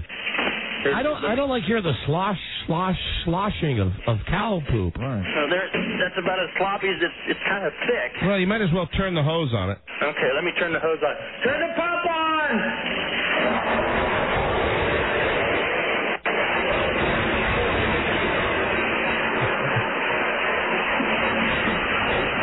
It's louder than a garden hose. Yeah, that's Hose. yeah, that's not bad. Not that's bad, not bad. but- Well, I gotta Let let, me you jump though. out here a minute. You Nah, I gotta let him go. Yeah, I'm not sorry. thick enough. Even if he really was, it's just not. You know, he's in the back of a truck and there are big cows pooping in there. All right, now here's a lady in Baltimore says she has a dead guy in her car. Oh dear. In her car? Yes. Hey, Teresa, how is it you have a dead guy in your car? Well, we just picked one up from the morgue, and we're going to pick another one up at another morgue, and are on our way there right now. I actually tried to call you from when we we're outside the morgue. Hello. There's the dead man right there. yeah, taking him to the airport again. Hello. It's Ken Stevens. Hello. Yes. Yes, hello. So, you, were you driving a hearse? Actually, we're in a we're in a van. Hello. A conspicuous and dignified white van. How, how many dead guys can you get in there? Um, we've got we've got the capability of two right now, but could fit four if you needed to. And what type of business are you in that you'd be hauling around dead guys? That's that is our business. That's what we do. We have our own business, and all we do is transport people from where they die to whatever funeral home we take them Okay, to. or so you're actually going to a to a funeral home. Uh-huh. Yes. Well, you'd have to do the thing where like you uh get you grab the dead guy's arm and like get him to slap himself in the face or something. I I mean, that's the only verification I could think of. Well. And it would, you know, it wouldn't matter to the dead guy because he's dead, and his family wouldn't know because you won't mention the name of the dead guy. I have the death certificate. I could read you what he died from. No, Uh, no, no, um, you no. just No. Le- sorry, no, No, you know that's Oogie. Sorry. That's it's one thing. You know, when the guy called from the city, you know, the guy, it was it was a little different. I It was- wouldn't- like the county coroner is just weirding me out when that that lady was saying, you know, that just creeps me out, man. I would be all for like picking up the dead guy's hand and making him slap himself in the face and stuff. At least I could hear that, right? But like a death certificate, you could uh, read that anywhere. You could doctor death certificate. Hello, Don and Mike. Hello. Hello. Are you talking to me? Yes. I have to be really quiet. I snuck into the bathroom. I thought oh, this was a guy for a second. Yeah, me too. Is this a guy? No, it says it's Leanne. Yes. My hu- I hope my I turned the radio off. This is Lee. Excuse me? This is Lee. Lee, last name Ann. no, my name is Leanne. right, Leanne. Okay. What are you doing, Leanne? Yeah, where are you calling us from? My bathtub. I turned the radio off in the kitchen so my husband wouldn't hear this. Okay, now Leanne, see, normally we love girls calling us from bathtubs, but for this segment, I have my sex toy with me. well, hello. Welcome back into the contest. I would have to, you'd have to run the sex toy though under the water, like you know what I mean? I don't think I can submerge it all the way because it might short out. Is it electric? Well, it's a battery. Battery. Could you put it in so like at least we could hear like the the propellers going around in the water? You know what I mean? You know what I mean? You hear it? Put it down. To the phone? Hey, put it put it down by the water now. I don't know if you'll be able to hear it in the water. Hang on. I don't want to get the phone wet. Okay. Oh, you can hear it. you can hear it. I hope my husband didn't turn the radio All back right, now, on. now, Hey, Leanne, what are you doing up there, honey? I'm trying to break Can the door you- down. can you use it? Um, I, I probably have to use a little soap. Okay. Do you want me to do that? Yes, sure. Yes, absolutely. I'm getting this phone covered with soap from my hair. It's fine. It won't hurt All right. Hang on one second. All right. Oh, shoot. This is Leanne in her tub with her friend. With her toy. And meanwhile, Kids need to get in here. her husband is downstairs, like eating his peas. you know, oblivious to the fact. Great dinner, honey. He's watching Wheel of Fortune. Four million people are listening to his wife right now in the tub. with her toy. If he sees the phone in the kitchen, if the light is lit up, And Leanne, who's the celebrity you think you most resemble? oh, mm, maybe a little bit of Neve Campbell. A little bit of Neve Campbell. Yeah. Really? What little bit? Um, I'm not as big busted as she is. That's okay. My husband isn't to hear this. The kids keep running back and forth. Just from your voice, you sound like that girl on the Drew Carey show. Mimi? Yeah. Large, big boned woman. My kids are trying to get in the bathroom. Oh, oh, you ruined it for me now. Your kids. I'm sorry. I had to hang up on her. Kids are, Mommy! Mom! Mom! Come on. All right. Listen, as of right now, Uh-huh. this girl, Carrie, who's naked in her boss's chair, Yeah, there's something about Carrie we liked. She still is the upfront leader. That's right. So far, nobody thinking of. When we come back, we'll have one more round and then we'll select a winner. This is the Don and Mike Show. With an estimated completion date of January 1995. The rest No, no. So the uh, the plan, if I may, was to complete Hank's Look Around Cafe on August 23rd this year. That's right, my birthday. Can't move my birthday back. What else does my jackass business manager have to say? Mr. Kingsley, restaurants rotate when they are at the top of buildings. Your place is at street level. There is no view. He does not get it. You see, the point is, it's not the view. The point is, when you eat at Hank's, you and your food are going on an adventure. Maybe you should just forget the rotating floor and get the place going. Forget the rotating floor. Come on, take a message. Come on. Come on, come on. Well, sir, thank you. But I am a visionary, so I'd like you to take your opinion and shove it right up your. Regards, Hank Kingsley.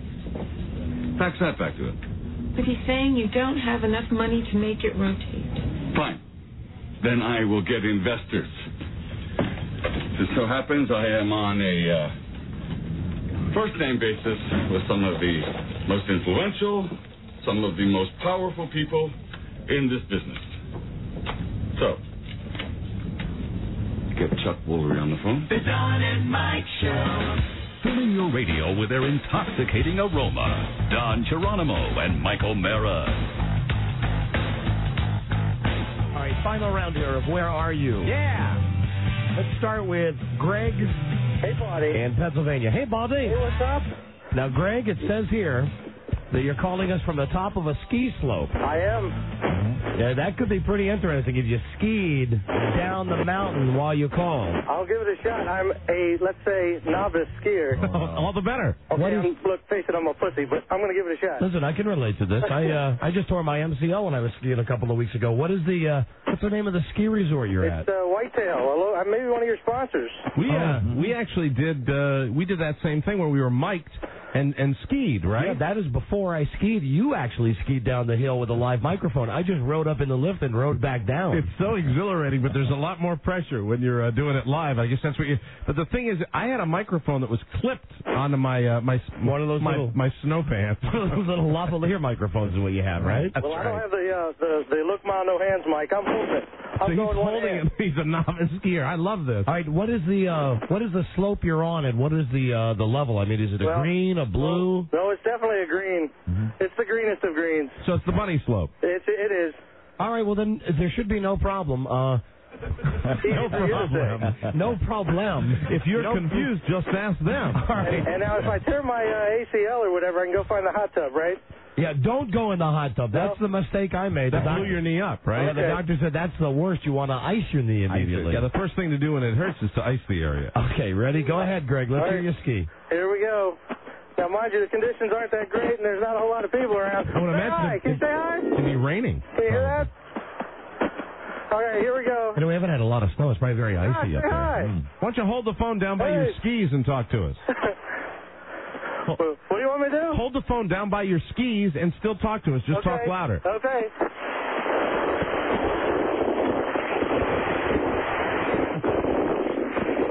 That's a pretty good suggestion. It sure sounds like he's skiing. Something credible about him too. Absolutely. Ah, Hello, ah, Greg. yeah, I'm here. Did you did you make it to the bottom of the No, slope? not yet. Not hey, yet. I'm still on my feet. Still on your feet. Oh! Oh! Oh!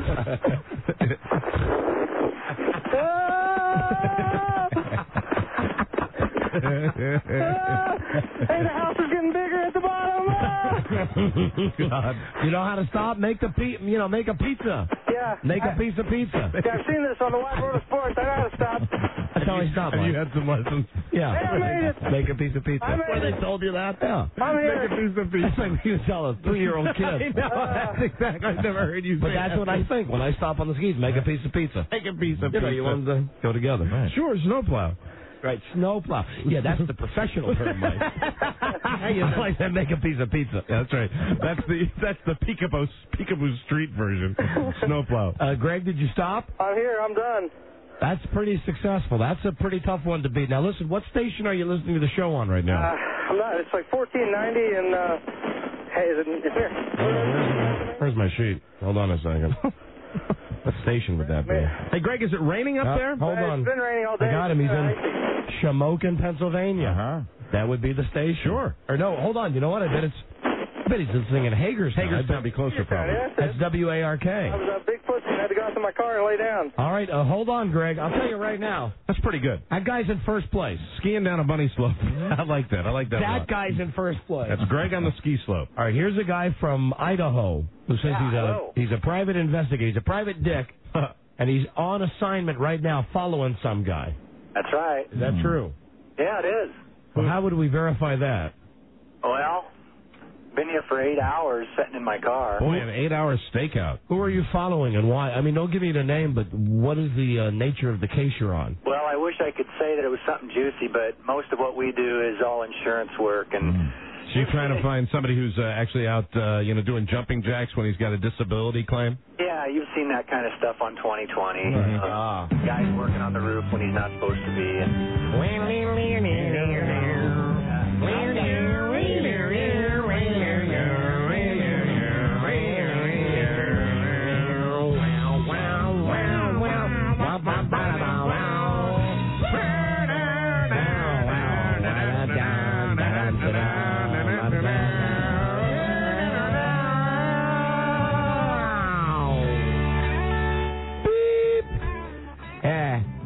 Jim.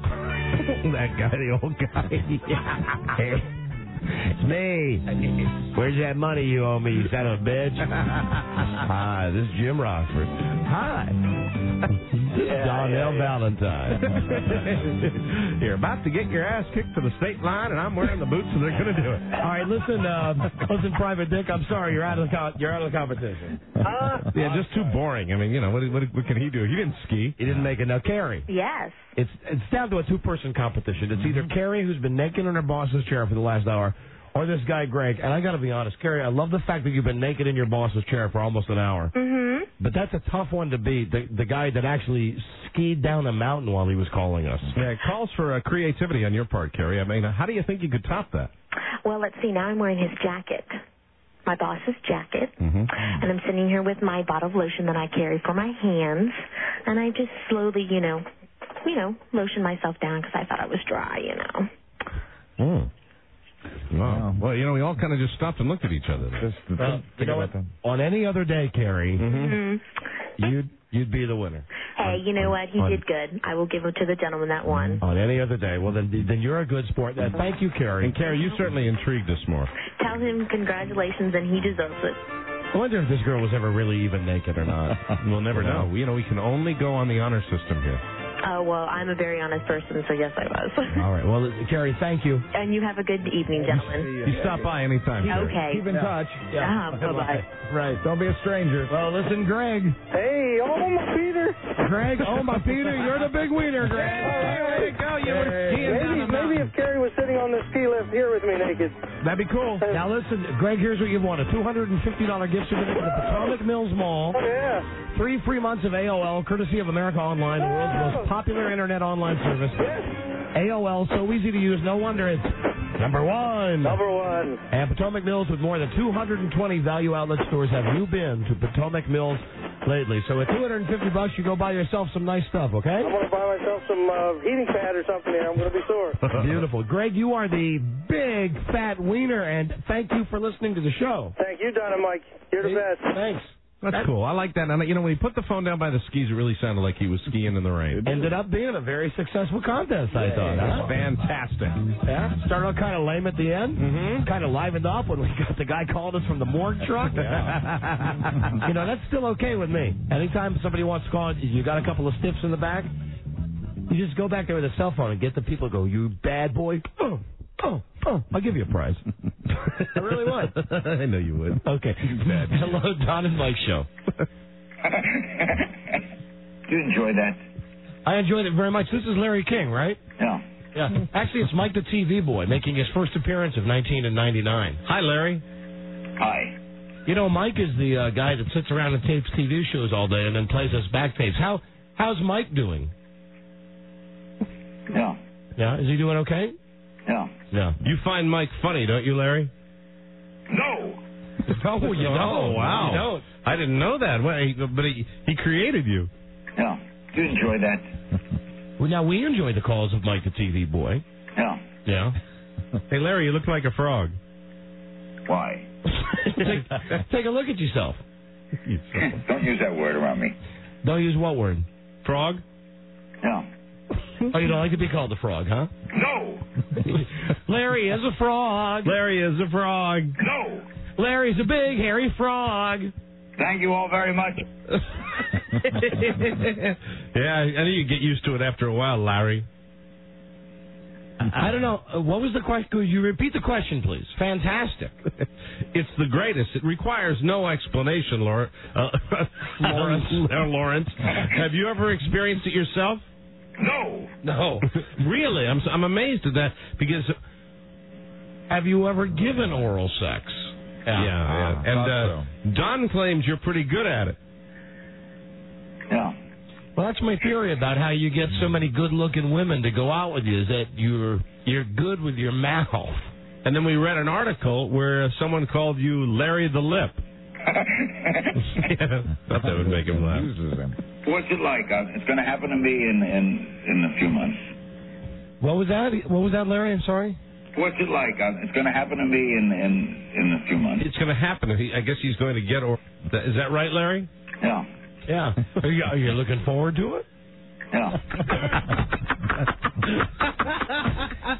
Say did that. Boy, Larry, you do seem to be a little obsessed about it, aren't you? Yeah. It is about sex, isn't it? Yes, it's about. Yeah. You can't fake it. You can't fake it. No, Larry, you can't fake it. And what are you talking about here? You talking about regular sex or oral sex? Oral. Oral sex. now he's laughing with us. Larry is laughing along with us. All right. Well, listen, Larry. Anything else? Yeah. Yeah. What would that be, uh, Lawrence? Um. What? What? Um. Oh, what? Come on, Larry, get to the point. Come on.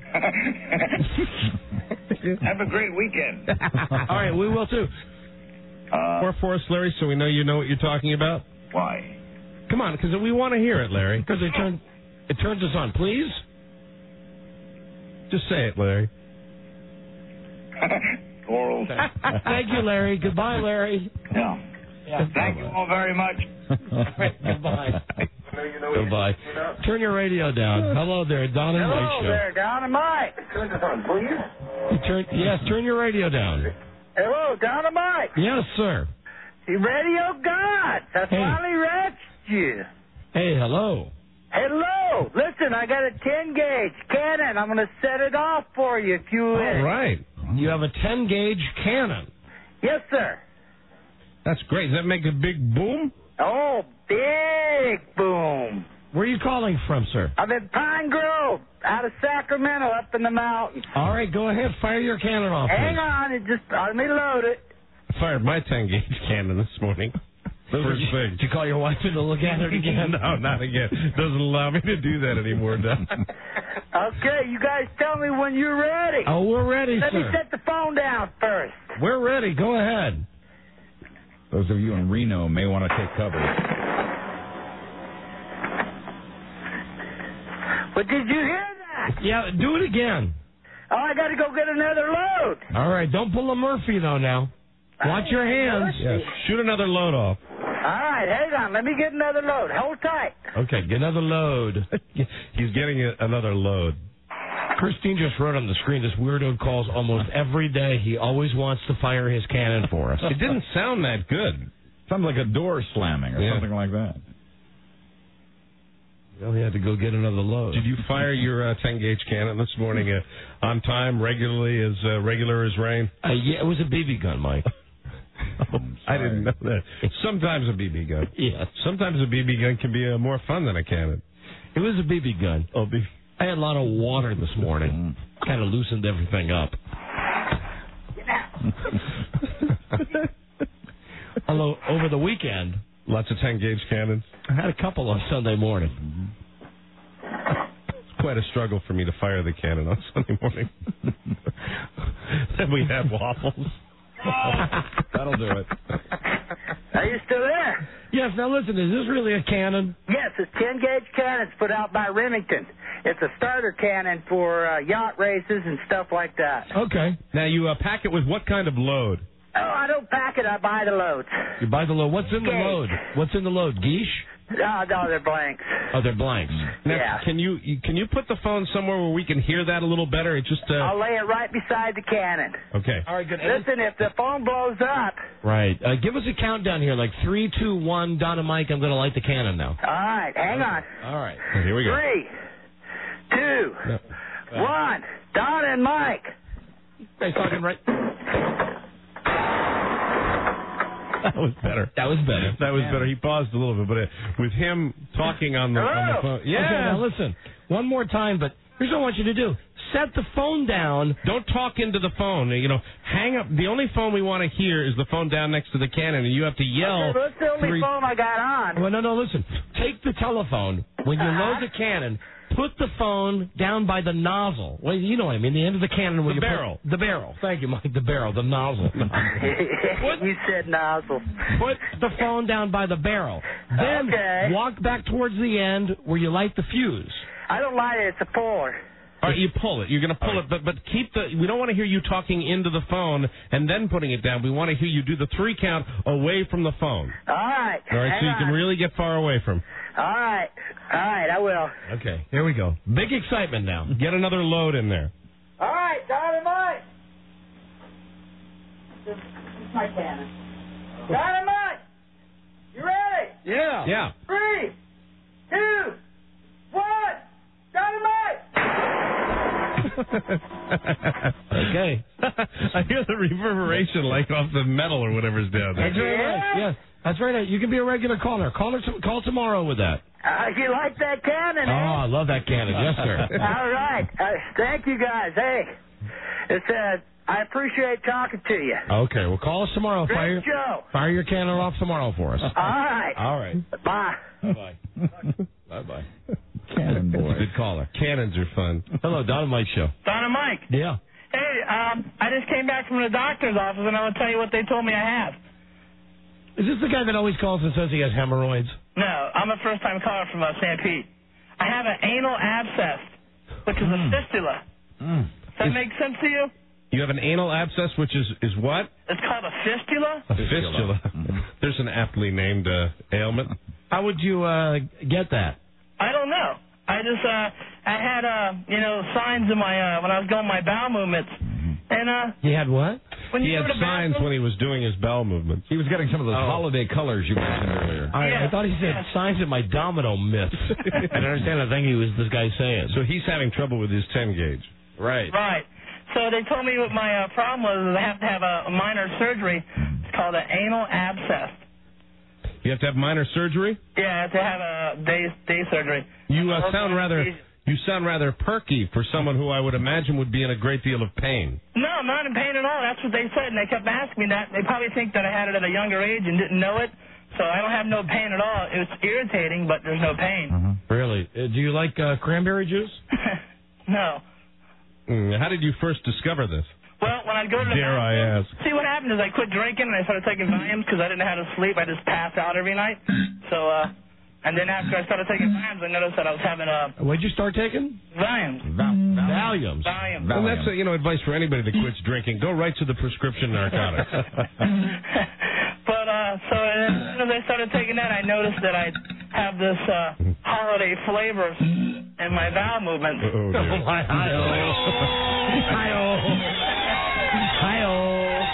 Oh, it must have been very frightening. It was. I was kind of upset. You know, I'm just figured I'd call because you just had a, a Mr. Well, no, he got the uh, deeper end of the problem, but uh, Yeah, he Buzz didn't have a fistula. Mine was the gut, not the butt. Yours, yours is a different problem.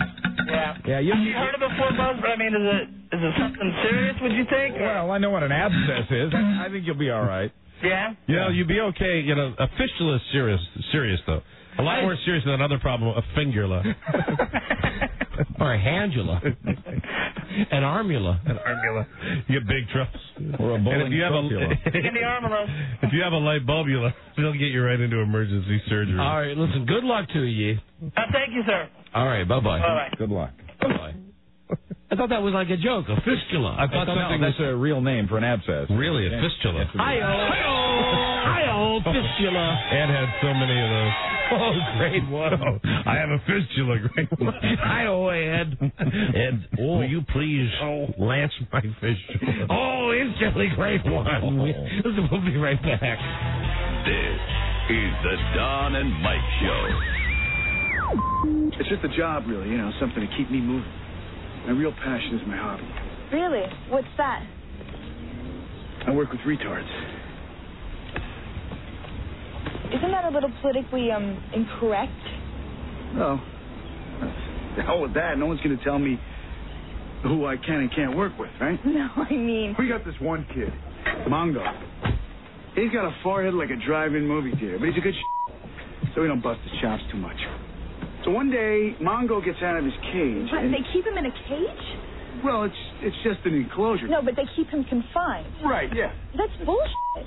Well, that's what I said. So I went out and I got him. Uh, I got him a leash. A leash. Yeah, one of those ones you can hook onto the clothesline, and he can run back and forth, and uh, there's plenty of room for him to to dig and uh, play. That kid is really uh, he's really blossomed. The Don and Mike Show. Are they strong? Listen, bud. They've got radioactive blood. Don Geronimo and Mike O'Meara. This is ghetto-licious. I was going to tell you the, one other thing from the weekend. Yes. I already mentioned that we had a poker game Saturday at my house. Mm-hmm. It was great.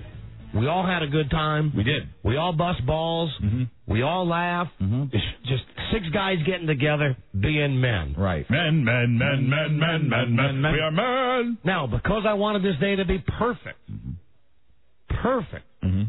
I knew a fire would be a, a fantastic touch because it was kind of uh, cold and gray and misty Mm-hmm. and gray. So the boys are coming over at twelve noon. Here's exactly what I did, and now we have we have pinpointed my mistake. Okay. Ooh. Yeah, this makes sense. Ten o'clock in the morning. I have free to come downstairs. Open the flue Good. in the in the fireplace. She puts her head in. She goes, "It's open." Great. 10 a.m. We get a fire going. Yep. Perfect. All I got to do now, when the boys come over, Mm-hmm. I just keep adding logs. Sure. Right. Right. So Be nice and toasty in the poker parlor. so it's 10:30, and by now I got a I got a beautiful, a picture perfect fire going. Right. down in the basement. 11 o'clock, take a shower. 11:30, Mm-hmm. setting out the ashtrays. I'm getting the cigars ready. I got the little mini refrigerator stocked with the kind of beer you like and the kind of beer the junkies like. I got regular Pepsi for Buzz. I got Diet Pepsi for for everybody else. I mean, I got I got it going on. I'm totally prepared. Yep. 11:30, half hour till game time. Then I say, you know what? I need to add another log. A big log. And what I do is I go out back and I get not a little log. Mm-hmm. I mean, I get A Lincoln log. right a big ass log. I mean, I got log. I got a huge like a tree stump is what I get. Mm-hmm. So I bring it in and I go. You know what? Before I add that to the fire, I'm going to put another one of those little fire starter logs on. Did I didn't know? See that I did not know. I didn't know that you threw that in there. So Even though the fire was going, and it would, it would have probably caught the log on fire. Well, but I didn't know if it would or not, so I added now not one of those big fire starter log, just one of the A little pocket, a little stick of fuel. a little mini one, like Right. the size of a candy bar, There but still, as I found out later, mm-hmm. still very volatile. Very powerful. Very powerful, all of those items. what they they have is they have fluid in them. They have, you know, liquid that burns. Mm-hmm. That's why they, they go so good. So I put in the the extra little thing to make more fire. Right. And now there's just the the logs that my wife and I've already put in. They're nearly down to nothing. Okay. I go beautiful. I get out this big stump. I go, put it in, kind of roll it in. Right. Standing there just admiring my work. Mm-hmm. Go, I really I fold my arms like this and I go, ha, I'm the man. I am the friggin' man. I got my buddies coming over to play cards.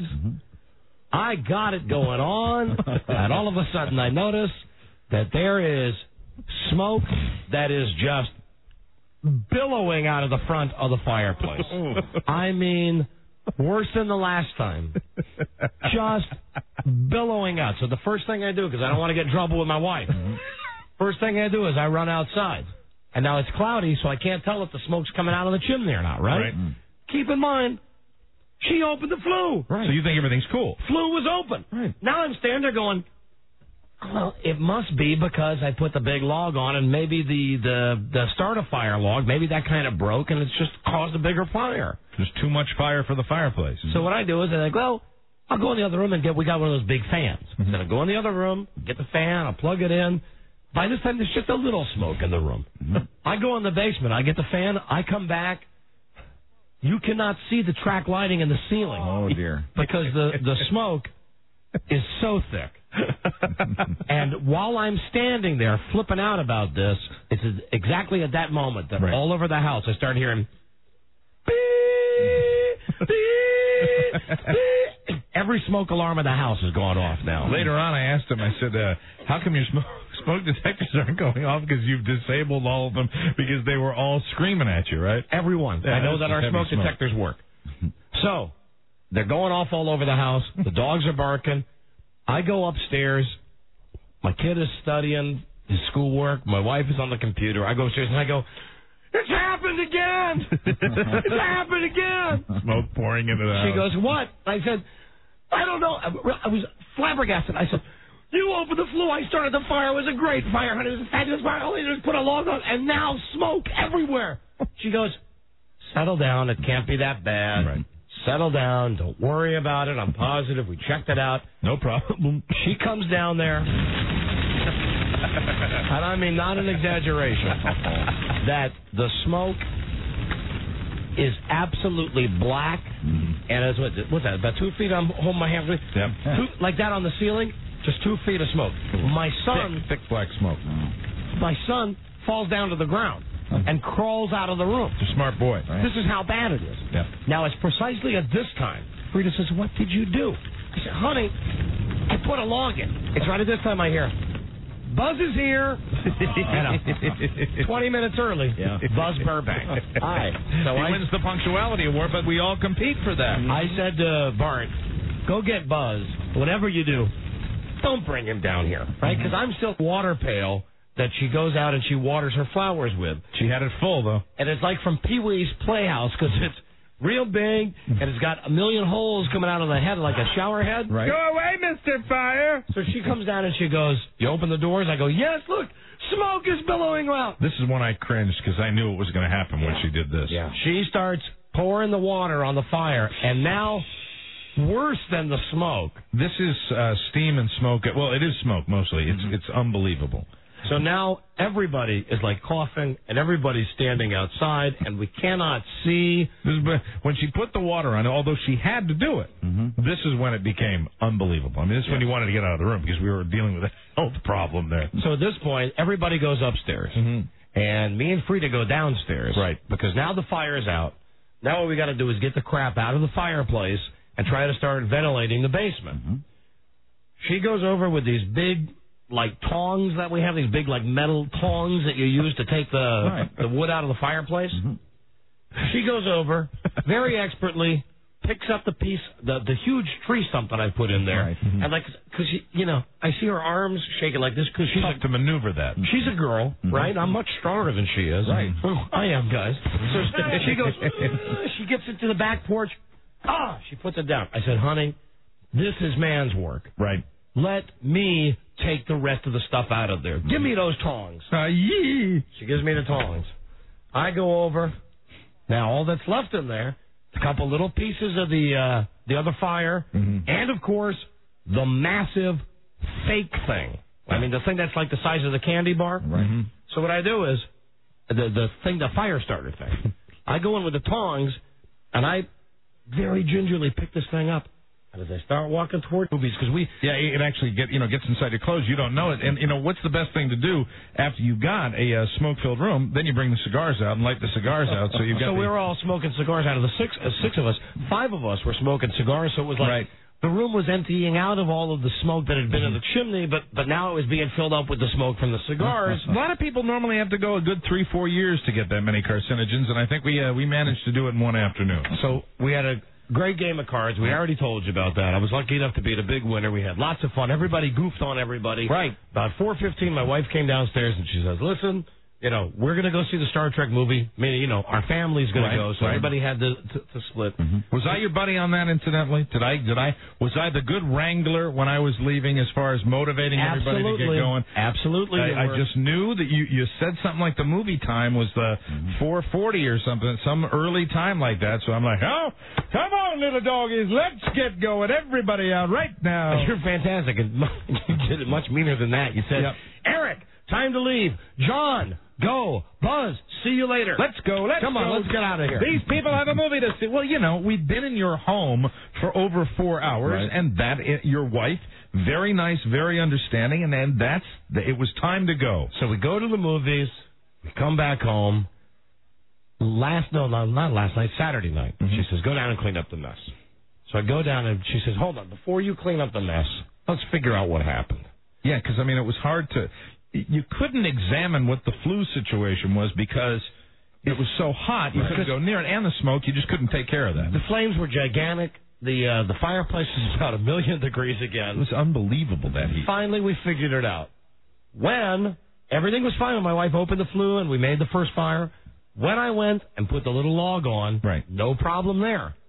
Then when I took the giant stump and kind of rolled it on top of the existing fire, Mm-hmm. when I kind of rolled it on, on its way in, it hit the flue. Oh, the flue which, handle. Oh my Which hangs down in the air, That right? makes sense. That makes sense Sure. because they're on a very precarious little hook system. So mm-hmm. that thing is hanging down, like you know, if you look in the back of somebody's throat, like a palate. Yeah, like Right. that little thing in the back of your throat. Mm. Like that thing's hanging down. I just tossed the log in, and when I did that, it hit that part of the flue, which mm. whoop, went and closed up. Right. Which is why all of a sudden, billowing smoke throughout the house. You were about eight feet away from the fireplace when you decided to throw the, the log in, right? Yeah, I wasn't real close.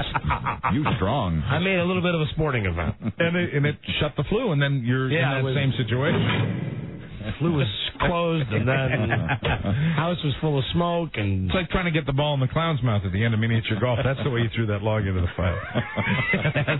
I can make it from right here. it's all just okay, Done. problem solved. Well, you know what you need So to do. it was do. very, very embarrassing. You know, it was very embarrassing because all of this was happening right as everybody was coming over for the big poker game. Jesus Well, you looked a little freaked out and said we got a flue problem. I was just relieved that there wasn't, uh, you know, a lot of illness in the house when I got there. And you're right. You're the one guy. Buzz, I don't care if he sees me like that. Rob, I don't care. Johnny Cakes, EB, Came out like he was bring it on. But I. I said, oh my God, this. Fr- I swore, Jasper, this first. I said, we got to get this cleaned up before Mike gets here. and I mean, you know, I don't know why I feel that way because I, I don't ta- either. I would have talked about it either way on the air, but it's Right, like, of course. of all the guys there, Uh, you didn't want it to happen. I twice. didn't want it to be with you there. didn't want it to happen twice, and there it was.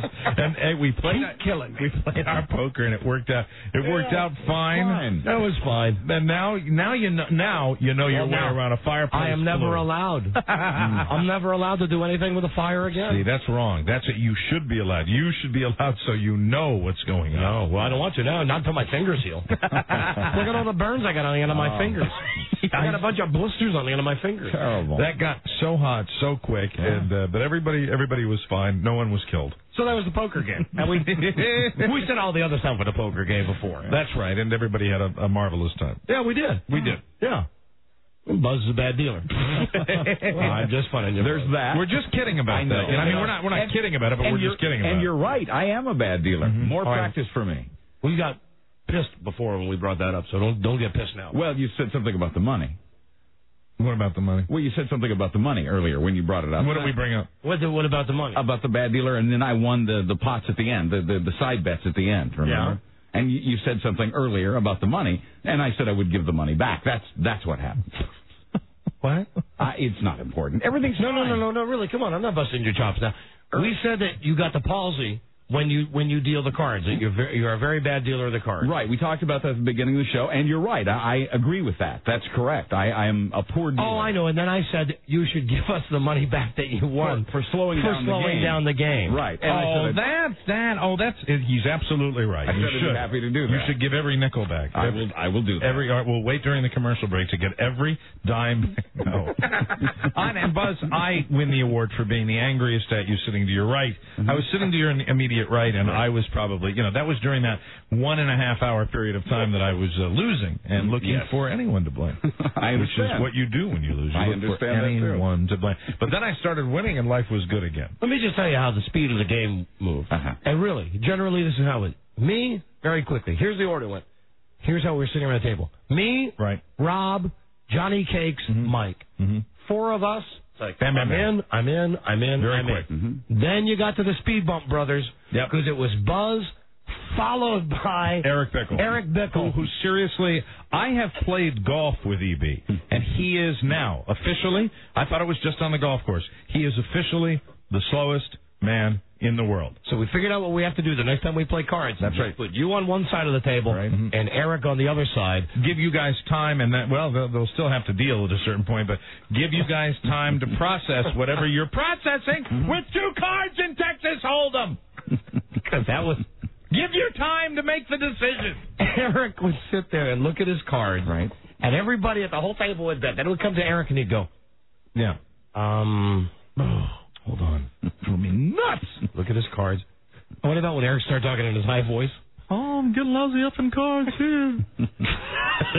I'm a big loser. I'm a big loser. I'm paying for you to go to the movies tonight. I fold. I quit. I guess that's what everybody that plays cards with a regular group of people. You just got to deal with everybody else's styles. Sure. Or lack thereof. That's what we all have to deal with. That's that's that's the way. But the good thing is people get better every time we play. When we all first started, we were rookies too. Yeah. And I missed the first game, so I'm a game behind everybody else. Mm-hmm. That's what I tell myself. Okay, but yeah, keep telling that to yourself. Well, it was a good game, and we next meet. Yeah. We next meet next month to Next play month. a game. Next month, and uh, you don't always have to be the host, but if you like to, I think everybody likes coming over to your Well, pad to do that. As long as I've lost my driver's license, I kind of have to be the host unless somebody wants to come pick me up. Okay, if that answers that question, we'll see you at your house next month. Be at my place. We'll be right back. This is the Don and Mike Show. Look at the way they admire and adore him. That's it. If he can teach a class, he can teach a class. I mean, I can teach a class. What is your area of expertise? Well, I can tell the difference between butter and I can't believe it's not butter. No, you can't, Mr. Simpson. No one can. Oh, I failed again. Everybody can teach a class but me. I'm an idiot. What am I going to tell my wife and kids? Oh, you're married? That depends. Is there another way to get this job? No, Mr. Simpson. What I mean is, we may have a job for you after all. We need someone to teach a course on how to build a successful marriage. I'll do it. Anything to get me out of that house, away from all that nagging and noise of a family of love. Sha la la la. The Don and Mike Show. A kind word need not cost much. With half a loaf of bread and an empty cup, I found myself two friends, Don and Mike. Don and Mike show. Hi, Don and Mike. Yeah. Did you ever get the Lancelot link in the Secret Chimps album I sent you? You know what? Yes, we did. I want to thank you for sending that in. Unfortunately, there was no singing on that. Isn't that right, Robbie? There was no singing on there? Well, there was singing, but it was just like bubblegum rock music. There was no dialogue or anything. So we- unfortunately, you have to have the dialogue. If you don't have the dialogue on the record, what's the good of it if you're not having any of the characters? That's right, Lancelot. Remember Lancelot and Link is that TV show we loved when we were kids where they would dress monkeys up like people and they had them like go surfing and drive cars bars and eat food and stuff. Here we are at the beach, Mona. I've got a big beach towel and an umbrella set up. You're my beach god, Lancelot. yeah, so thanks for sending that. Uh, Rob, did you send that record back to this guy? I filed it. We might need it in the future, Doc. You know, you might need it. You said you were going to send me some gifts, but I want to thank you for the for the years that that I've been listening to you. I was crying just before I called you because I'm having a tough time in my life right now. But, Oh, but really? you guys are the greatest.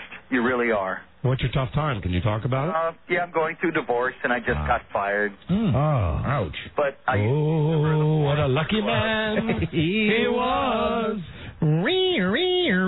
You, you divorce her or she divorce you? She dumped me for her psychologist, which is another. Oh, man, that's the worst. Ouch. You know what? Dennis Murphy.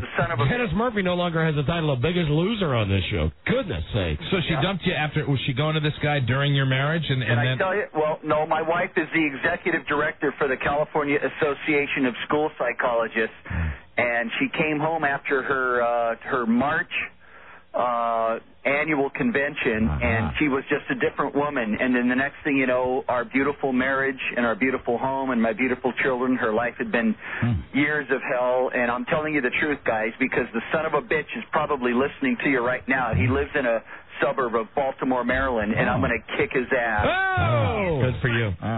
Some guy boning your wife. She's your property, man. Christina if you want to know. No, no, no, we don't. No, no, we don't want to get into that. Oh, I'm sorry, but this is all true, and I'm going through horrible turmoil. And why'd you get fired? Uh, can I tell you the truth? I put my arm around a very close friend of mine, and I gave her a big hug and all that stuff. And the next thing you know, I'd been called in the office because people had complained it was inappropriate touching, and they fired me for sexual harassment. Did the employee that you put your arm around complain about it? I don't know if she did or not because she's a close friend of mine, but other employees put her up to it. But I'm just devastated. You know, I sure do want to believe you, but I have to wonder if there's another side to this because you sound like the sad sack loser. Is like your wife goes out of town, bones some other guy, No, then no. she leaves you in the lurch, and then truth, guys. all you do is put your arm around the Five girl. million people. I would not say this because there are many people out there will, that will probably recognize my voice. I'll, I'll be honest with you. Right after my divorce, I was uh, putting my arms around you know, any woman I would Yeah. see under any that's not circumstance, and I would always bring my right hand down uh, right near the breast. I've been uh, eight months and I haven't. I can't look at another woman. I can't touch another woman. Oh, really? Oh, you're a mess. I didn't have that problem. It, it, it's okay.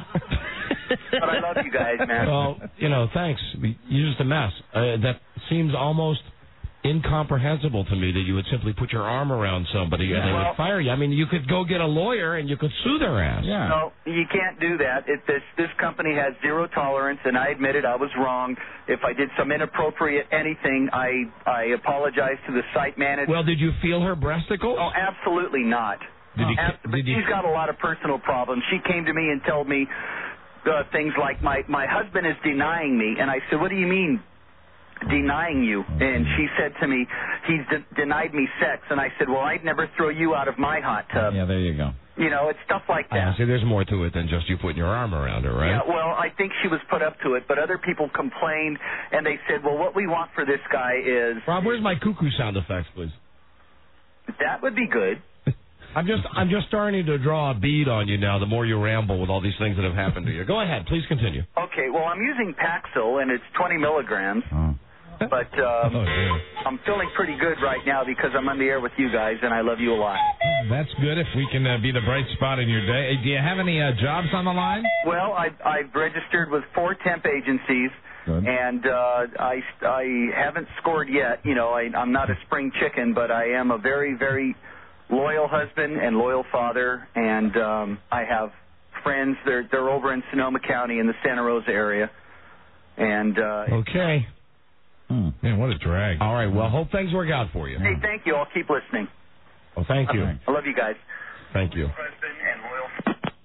Bye bye. There you go. Jeez. I'm bummed.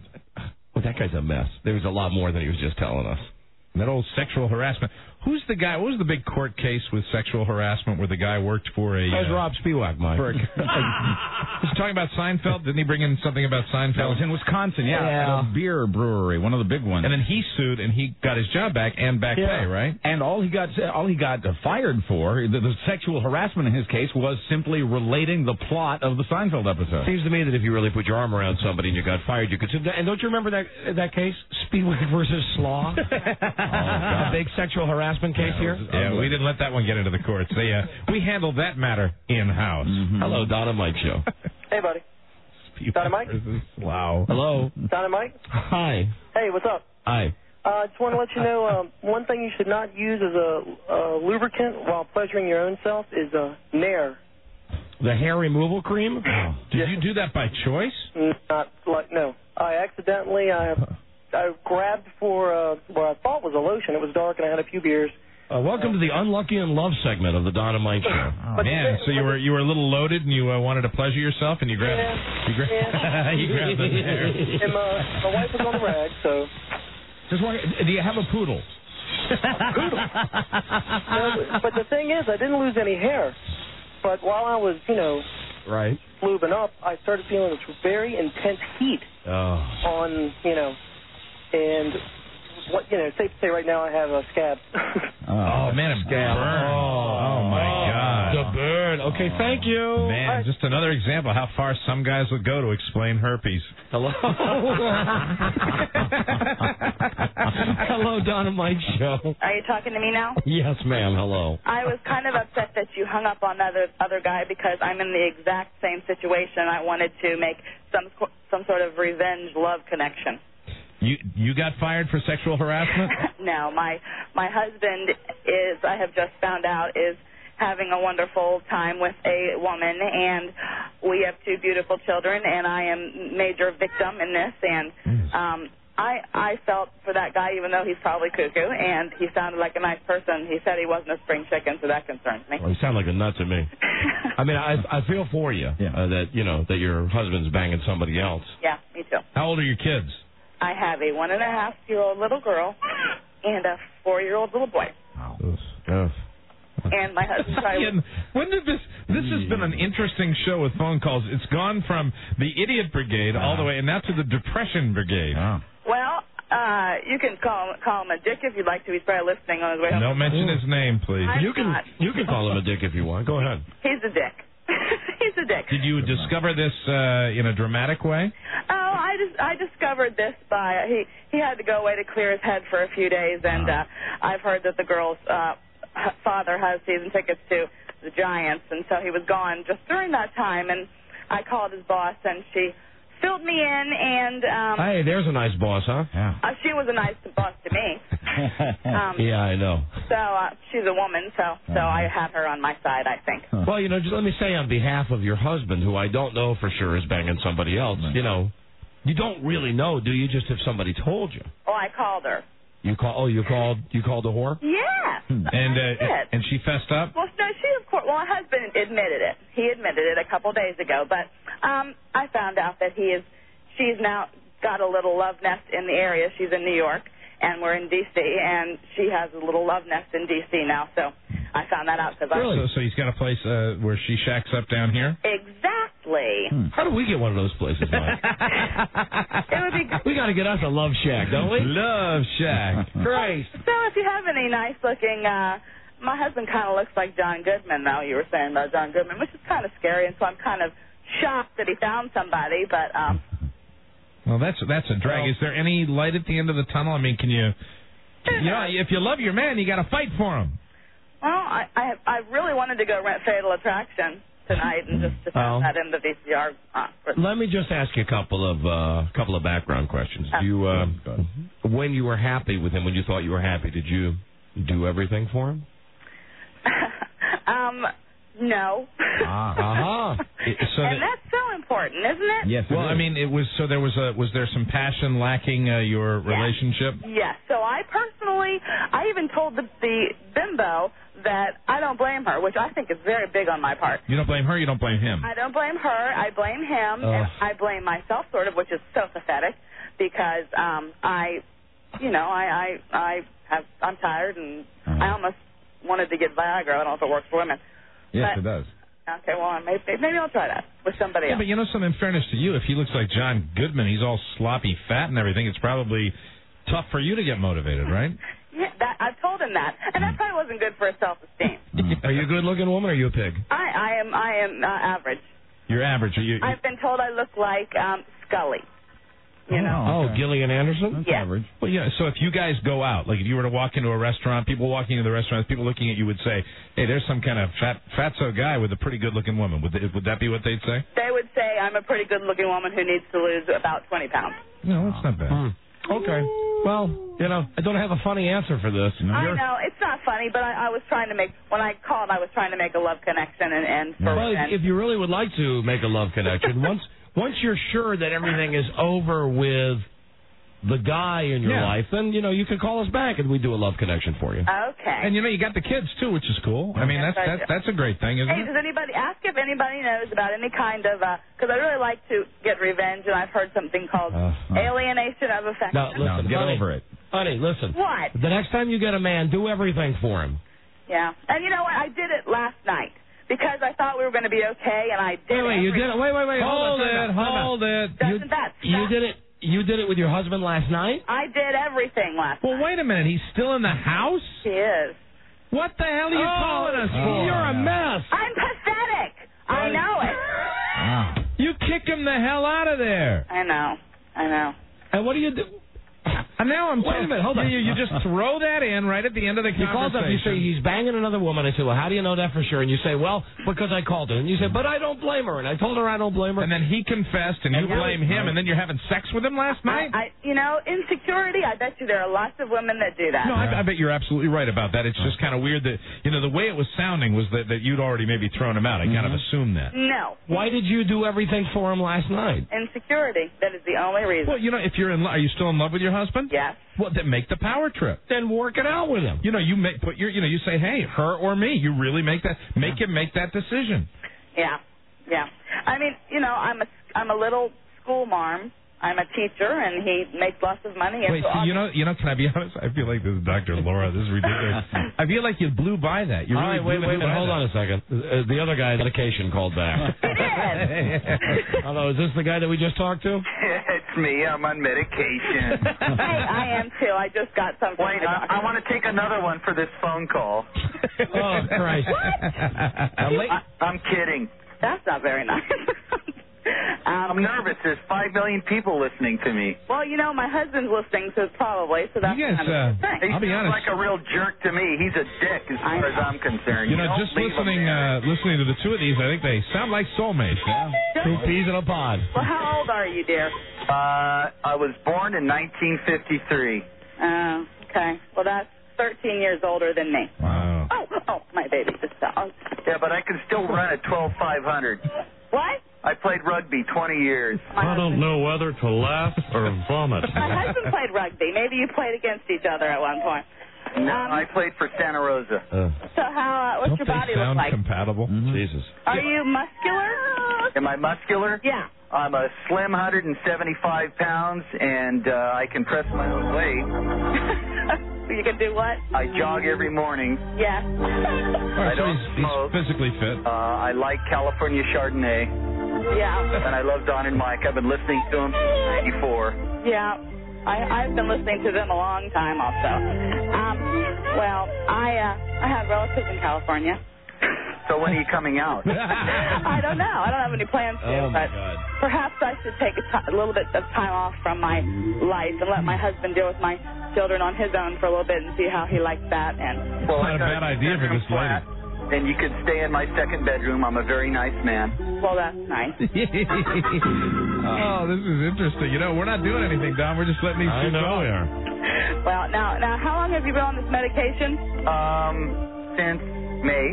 Because of the stress, or Yeah, it's just been painful for me. yeah? and I'm going to uh, go off it completely by the end of the year. It's it's called Paxil, Uh huh. and it's an antidepressant. It's This nothing is all like Buzz the pharmacist. Mm-hmm. crying when you're sad. It's called Paxil. Mine, I don't know what it's called. It's Oh. upstairs, but I, uh, I, it's just because I've been very nervous and having panic attacks, so I'm, I'm trying to. No, I had. I They had both sound nutty as a fruitcake to me. and the hot sweats in bed. Yeah. And I had the nightmares and all that stuff, but it's over now. you get through that. And yeah, I have two beautiful little girls, blonde haired, green oh. eyed. My baby has blonde hair and green eyes too. My little girl. I have a blonde haired blue eye that is just a knockout, and I will never ever let her listen to Don and Mike until she's 35. So sad. This is so sad. All right, well, listen, I, got- I got to put your kids on hold, and if you want, you can exchange phone numbers, something, or email addresses. I like. love it. Okay. Thank you. Thanks. Okay. Good luck. All right, uh, hold on, hold on there, Mr. Good luck to both of you. Thanks. Thanks, guys. I love you. Okay, love you too. I don't know if I love you, but I like listening. Well, to that's that's the Paxil talking. You know, we No, it isn't. No, it isn't. okay. Yes, it is. Yes, it is. Sorry about that. Slow down. Thanks, guys. All right, both of you. Okay. Now turn your radio down there. Okay. You take less pills, and you, the next time you get a man, do everything. I only use one pill a day, for goodness sake. Okay, that's uh, you're talking like a junkie now. I've had four today. What? I've had four today. Four. But Four today. during the day it was only half because my students would start to wonder. Okay. all By the way, I do everything. Okay. I've got ice cream. ice cream headache I'm getting right now. Okay. Those two were soulmates. I'm telling you, they're both crazy. I love it. They're both crazy. Yeah, good calls though. Yeah. Thank you, kids. That was fun. We we enjoyed it. We'll be right back.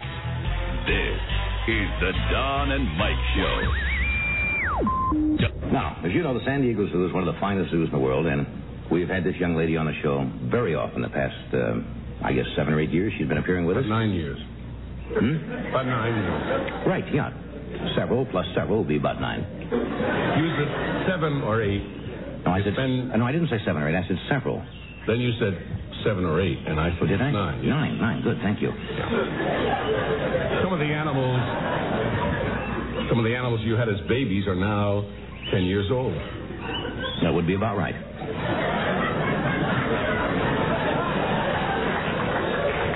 Um, Remember the animals that did something funny on your tie? Yes, Those little lions, the little baby lions, were one year old. that's right. They are now treacherous and ferocious ten-year-old animals. Okay. Anyway, Joan, uh, Joan Embery is here tonight. And she's now 32. That's right.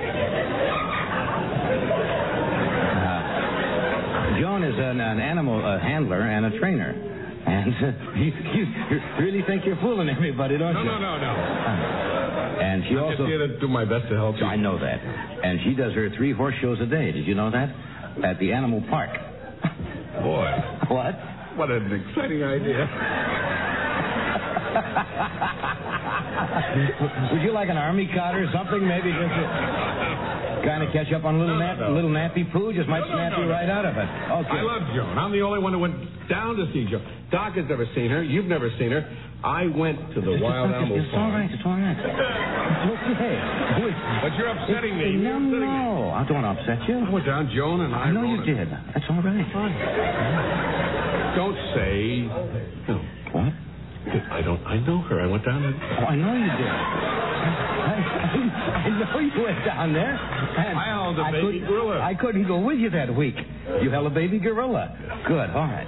And uh, let's get her out here quickly. Wish you welcome, Joan Embery. The Don and Mike Show. Doing an adequate job. Don and Mike. Today's Don and Mike Show is brought to you by Viromax Sexual Pleasure and Performance Enhancer. Doctor developed and clinically tested, Viromax works. Available at Rite Aid, GNC, and other select retailers. 1 888 Try VMAX. Um, Yeah, what is he doing over Mr. there? Broyhill, why are you staring at the map of the United States? I was curious. I, I noticed that as soon as you came in. It's not what you normally do. No, it's not. I was looking for a particular city in Texas. Why? Um, just I have some time coming up this the next two weeks where I'm going to be off. Are you going to Texas? Yeah, I'm going to Texas. No, you're not. Are you really? No. What's Why were- wrong with you? Why were you just staring at the map? Of Texas. You were looking at Texas. Yes, I was. I got a list from the network of. Ladies and gentlemen, before you continue, Charlie, let me just warn everyone here, this may be a little difficult to follow. I just thought I'd give everybody a little uh, preemptive strike there. Okay, go ahead. I got a list from the network of some stations and Yeah. cities. Yeah. I saw one I didn't recognize, Thank you. and I was looking for that city on the map. Saturn Broyhill. Thank you, Saturn. Righto. Right. See you later. Thanks so much. And that was a wonderful uh, explanation. Thank you. Thank you, tortoise boy. Grown up Cody Gifford. there we go. I was. He's still staring at the map. Get out of here. Look at the map during the commercials, Charlie. Come on now. You distract me. Now, Rob, you stop looking at the map, too. Rob? Rob? What's the city in Texas? What is the city? Dallas. No. All right. Lean Gene. This is the guy that has been bugging us for 10 days to Right. come on the show. We're positive he's a big load. he's been on the Extreme Gong Show on the Game Show Network. Very exciting. And he's working on a comic monologue of songs that would annoy Bill Clinton. Oh boy. Uh, you know, for my money, you just can't beat the Clinton humor. that cow's been milked. So we'll give him a couple seconds to see what he's all about. Like, the guy's been dying to get on the show. Hello, Don and Mike. Hey, you What knew we were you? calling. That's terrific. How'd you know it was us? Well, I have a call screener. You have a call screener. You mean caller ID? Uh, yeah. Oh, very good. Yeah, and Mhm. it's got your number out here. You're, you guys are the only uh, people that um, I know in Virginia. Yes. Hello, Lean Gene. How do you pronounce your last name, sir? Slonimsky. Slonimsky. Lean Gene Slonimsky. And uh, tell us about your extensive resume on the Extreme Gong Show, please, sir. Uh, well, um, I used to be homeless, and really, I, That's a shocker. no, this was in the 80s. Mm-hmm. This was in the 80s. In the go-go 80s, you were without a, a domicile. You might as well say that. Mm-hmm. And um, I did uh, what I did on the Mark and Brian show, part of.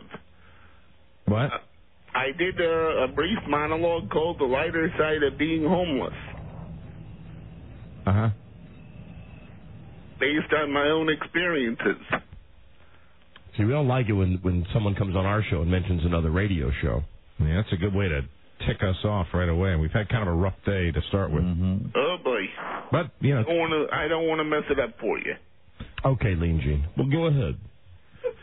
Um, but at any rate, um, I've also been on another time as a paid performer. I bet you were a big hit on their show, weren't you? Oh, they liked me. Of course they did. Yeah. They have you on more than once? I'm uh, probably going to go on in January. Mm-hmm. no surprise. That's good. Well, I hope you enjoy that. Oh yeah, yeah. I love the staff. They're really great people to work with. So, what are you working on now, Lean Gene? And why did you call us?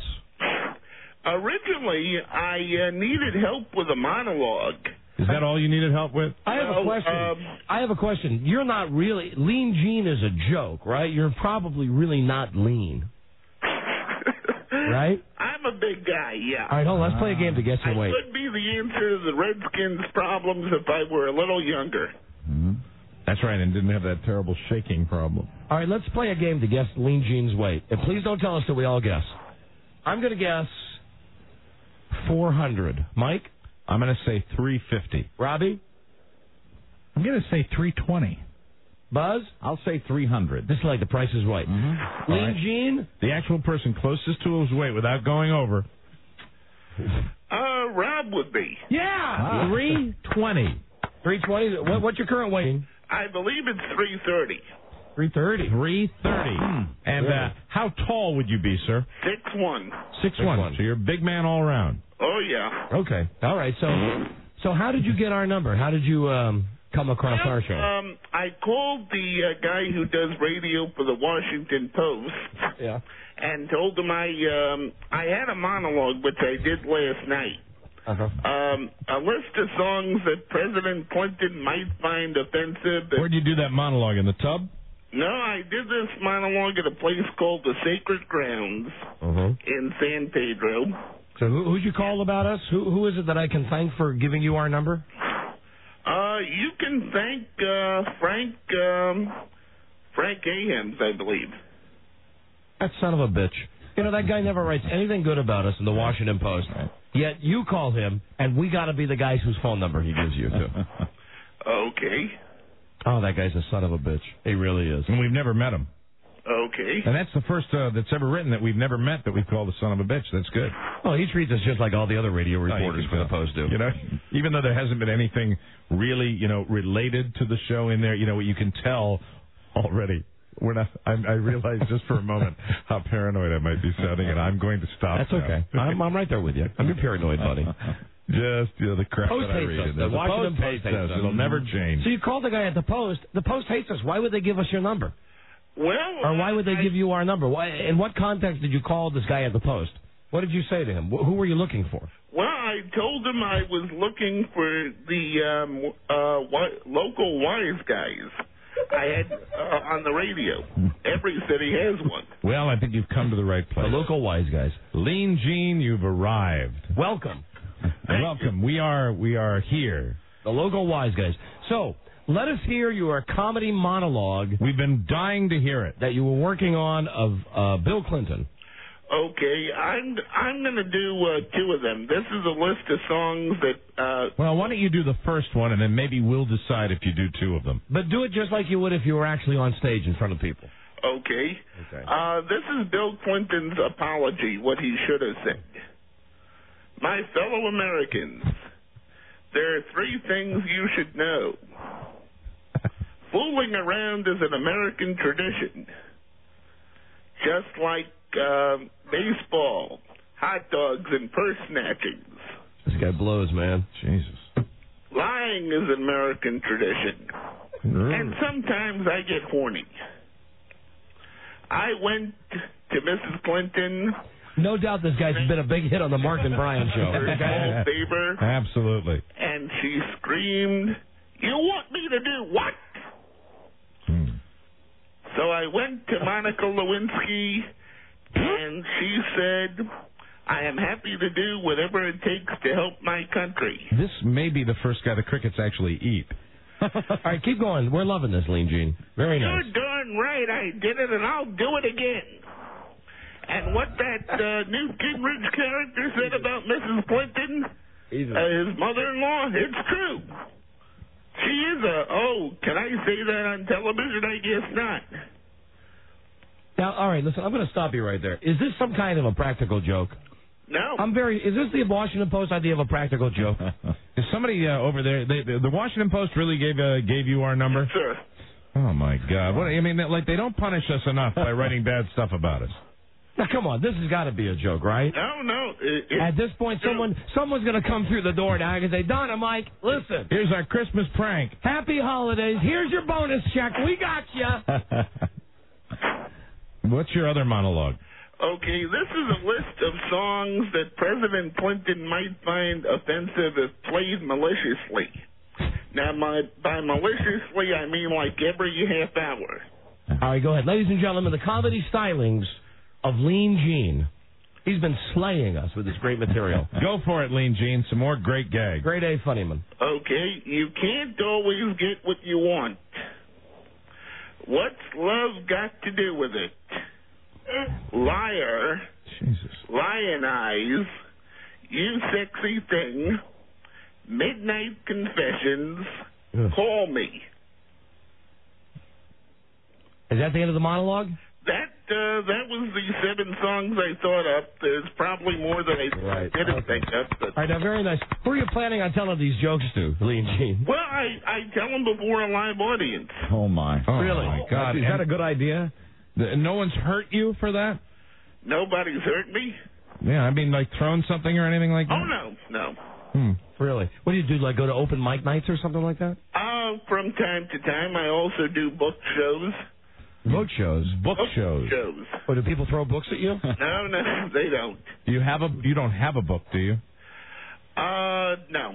No. And uh, do you have any other way of uh, of supporting yourself? Yes, I do extra work You do extra work. There you go. Oh, you mean oh, out in California? out in California. Oh, there. I think you got a long career as an extra. All right, well, listen, I'll give you my expert opinion because I've been in the radio business 25 years and I consider myself to be a pretty funny guy. Let me think about the material you gave me. Okay, are you ready? Mm-hmm. You blow. you blow big time. You blow dead bear. Got to tweak it up a little bit, Gene. You're the worst. Tweak it up like uh, you know, significantly. You're the worst. Your material is no good. Your delivery is no good. But I have optimism for him as an extra. I think you'll have many days sitting on like a studio lot reading a book. You're awful. Has anyone ever told you that? No. We're the first? Oh, come on. The people have been lying to you, man. Do pe- tell me this. When you go out and tell these lame jokes, and when you go like on the other radio show that you mentioned, do they laugh? They're not patronizing. They loved it. They're not patronizing you. They really laugh. Yes. And the material you just gave us is similar to what you did on the other show? The the material now the the list of, of President Clinton songs. Mm-hmm. Uh, that's brand new, but the other monologue I did at the Laugh Factory. Now, Oh my God! The Laugh Factory. The Laugh Factory. Now, in front of a real audience. Been recalled. Real audience. now, when you go on this other show, be honest with me. Now, are they laughing at you, or are they laughing with you? They're laughing with me. They're laughing with you, and they're laughing at your material. That's correct, sir. Oh my God! All right. Well, you know you can't explain certain things in this world. Well, I stand by my first assessment. Always go with your gut instinct. Concern your next week should be at the fart factory. but that's positive criticism because now there's nowhere to go but up. Okay, thank you for your opinion. And do us a favor. Call that guy at the Washington Post. Yeah. Call him every day like you've called us.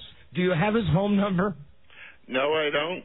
Could we secure that for this guy, perhaps? Yes. That's good. Yes, we can get the home number, and perhaps you can call him over the holidays. And uh, th- you know, because you've enjoyed a good uh, chunk of time on our show. Is there any anybody you'd like to say hello to while you have the opportunity? Well, uh, let me say hi to my cousin in Maryland. Uh huh. They still speak to you? Oh yeah. Very good. All right, hold on a second. I got some feedback. I got a guy who heard you on that other show. Oh. Hold on a second. Hello, is this Stuart? Hello. All right, there's a guy calling us from California. Hey, Stuart. Yep. Hi. I heard this loser on that other show he talked about earlier. Yeah. And uh, coincidentally, they just pulled that other show from the market up here in Northern California. Yeah. Okay. Well, come on, get to the point though. Well, they probably pulled it because they liked that. They li- they liked it. They kept him on all the time. All right, so Lean Gene's being square with us. He's telling us the truth. They Yeah, he's been on their show. it. I think that says something about Lean Gene and also says something about Mark and Brian. Here, Yeah. And, and I bet. It takes all kinds, Don. Tell me if I'm wrong. They were probably howling like hyenas at his material, right? Constantly. Sure. Constantly. There oh, because he's so goddamn funny. That's well, great. Well, I hope they have him back. I really hope they have him back. yeah. Well, good luck, Lean Gene. Lean Gene, it's been uh, a little slice of heaven. Thank you. Really, I, not to belabor, to belabor the point, but one last thing. You're telling me we're the first people that's ever told you you suck? We're the Yeah. first people that have ever told you that material's awful, your delivery is awful, you're pathetic, you suck, you stink, you're bad, you're not funny, your jokes are stale, your jokes are old, it's tired, it's a worn out subject, your, your delivery is awful, you're pathetic, you don't enunciate the words correctly, you, you breathe too heavily, you're annoying. No one's ever told you these things? no, sir. Well, today, ladies and gentlemen, you've heard of first. All right. But remember, something to work on. There you go. And that's what you should do during the holidays. Live your life to prove us wrong, Lean Gene. And hey, Lean Gene, Mm-hmm. I've enjoyed the snappy comebacks during this, too. All right. You've demonstrated your quick wit. Jeez. We'll catch your next appearance on the Mark and Brian show. Be sure you tell that producer Frank Murphy that we said good booking. And he's, our- he's the chap who's booked you, isn't he? Uh, yes, he did. Right. Yeah. He's an astute judge of talent. He certainly is, and our best to Frank over at the Washington Post, too. The two Franks. Both of them out to F us. And we've been uh, enjoying this opportunity to be frank with you. All right. Now goodbye. Goodbye, Gene. Bye, Gene. Adios. Adios.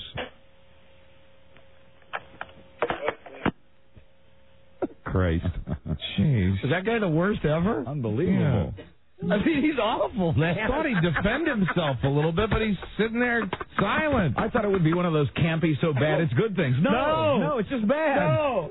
I'm oh. trying not to feel sorry for the guy. Oh no! Don't feel sorry for him. Just sitting there, you know, you're telling him that, and it's the truth, and all I hear on the other, I'm waiting for, well, wait a minute, and, and all I hear on the other side is, I don't. I don't doubt he kills on Mark and Brian. He's been rebooked on that show. I don't doubt that. Well, I just want my season pass to the Laugh Factory. Hello. Yeah, Mark and Brian suck. All right. Well, thanks. We knew that already. Hello, Don and Mike show.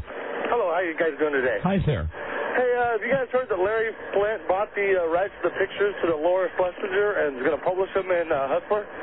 Oh, good for him. He's always thinking that Larry Flynt. He really is. He's always trying. People are dying to be entertained. Hello, Don and Mike. Hey, buddies. Hey, Baldy. Hey, I got an idea. Of course, I'm not an idea man. Ah, ah, Put out a double album of this guy and Dennis Murphy. You might sell a lot more stuff. So I want to tell you something. Sir. Compared to that guy, timing wise, Dennis Murphy is Jerry Seinfeld compared to that guy. He's amazing. I mean, I swear to God, I swear to God, Dennis Murphy is like the funny. Dennis Murphy is Chris Rock compared to Lean Gene. Okay. Yeah. That is an embarrassment to Dennis Murphy to put him in that category. Pretty astounding. And you know, even with that voice, you would think that would have carried him over. You know, No. you would have saw the. Let me tell you the way. And I'm sitting there thinking, I, I chuckled at the voice, but then the material weighted it down. Colby, I can't get no satisfaction. The best comedian in town. All right, hello, Don and Mike show. Oh, he's the Hello, worst. buddy. Hey, buddy. I I got you know talking about bad comedians. You know, did you do you log much time with Drew Carey show on What's My Line or on uh, that thing that was on last night? Whose No. and I'll, and I'll tell you why I don't watch that show because that's false advertising because they make it out like the the comedians on there are very spontaneous and they come up with these wacky bits in 23 minutes and you think, God damn, those are funny comedians. Do you know that for each episode they tape three hours worth of material mm-hmm. and they take the best of three hours and, oh. and pack it into 23 minutes. So what you're seeing is not actually as spontaneous as it appears to be. And I don't think the show works uh, with Drew Carey. I, I like that uh, British guy better. I like the guy. The guy. The way they did it in Britain was just a lot better. It was a lot better. And that's the thing. I mean, it's funny because he sits there and laughs just like the audience. But my God, I sit there and look at the last pi- the last bit, and I, dr- I dread it because he has to participate, in that fat ass doesn't even know how to do anything com- comedic. You know? Well, no, I would, I would disagree. It's comedic, and I, I think Drew Carey's very funny on his show. I, I just don't like not him in on that that role. one, though, Don. The Drew Carey show is an excellent show, but you know, I can't. I always watch that kind of cynically because I know that what I'm seeing is not. You know, the great thing about being spontaneous and doing a show that supposedly is live, where you just have comedians coming out and and, and doing off the top of their heads, it's just that. Yeah, absolutely, and it works. It really does, and it's fun to watch. And if you know it's live and you know it's all happening, that's uh, that's then the it makes it excitement great. factor. Yeah, sure. but, but you know, it kind of takes something away when you know that they've done stuff for three hours and they got two and a half hours that suck, and what they've really got is 23 minutes that are funny. and they've got time to edit it down and you know get the reaction shots, which they they Well, seem to sweeten it a little bit. oh, bit. good. Sweeten the laughter. But I think you should look forward to seeing Lean Gene on that show real soon. Hello, Don and Mike show. Yeah, I just want to talk to Don and Mike. Yeah, you're on the air. Hi there. Hello. Hi. Uh, was it just me, or did that guy sound like Droopy the dog? Oh, you mean the guy? Oh, Yeah. yeah, right, a little bit. You sounded like Pussy Man. Pussy man, hey, pussy man. Hello, I've got a list of songs that the president won't like. I hope he won't get mad at me. He's the worst. Sorry, we're out of time.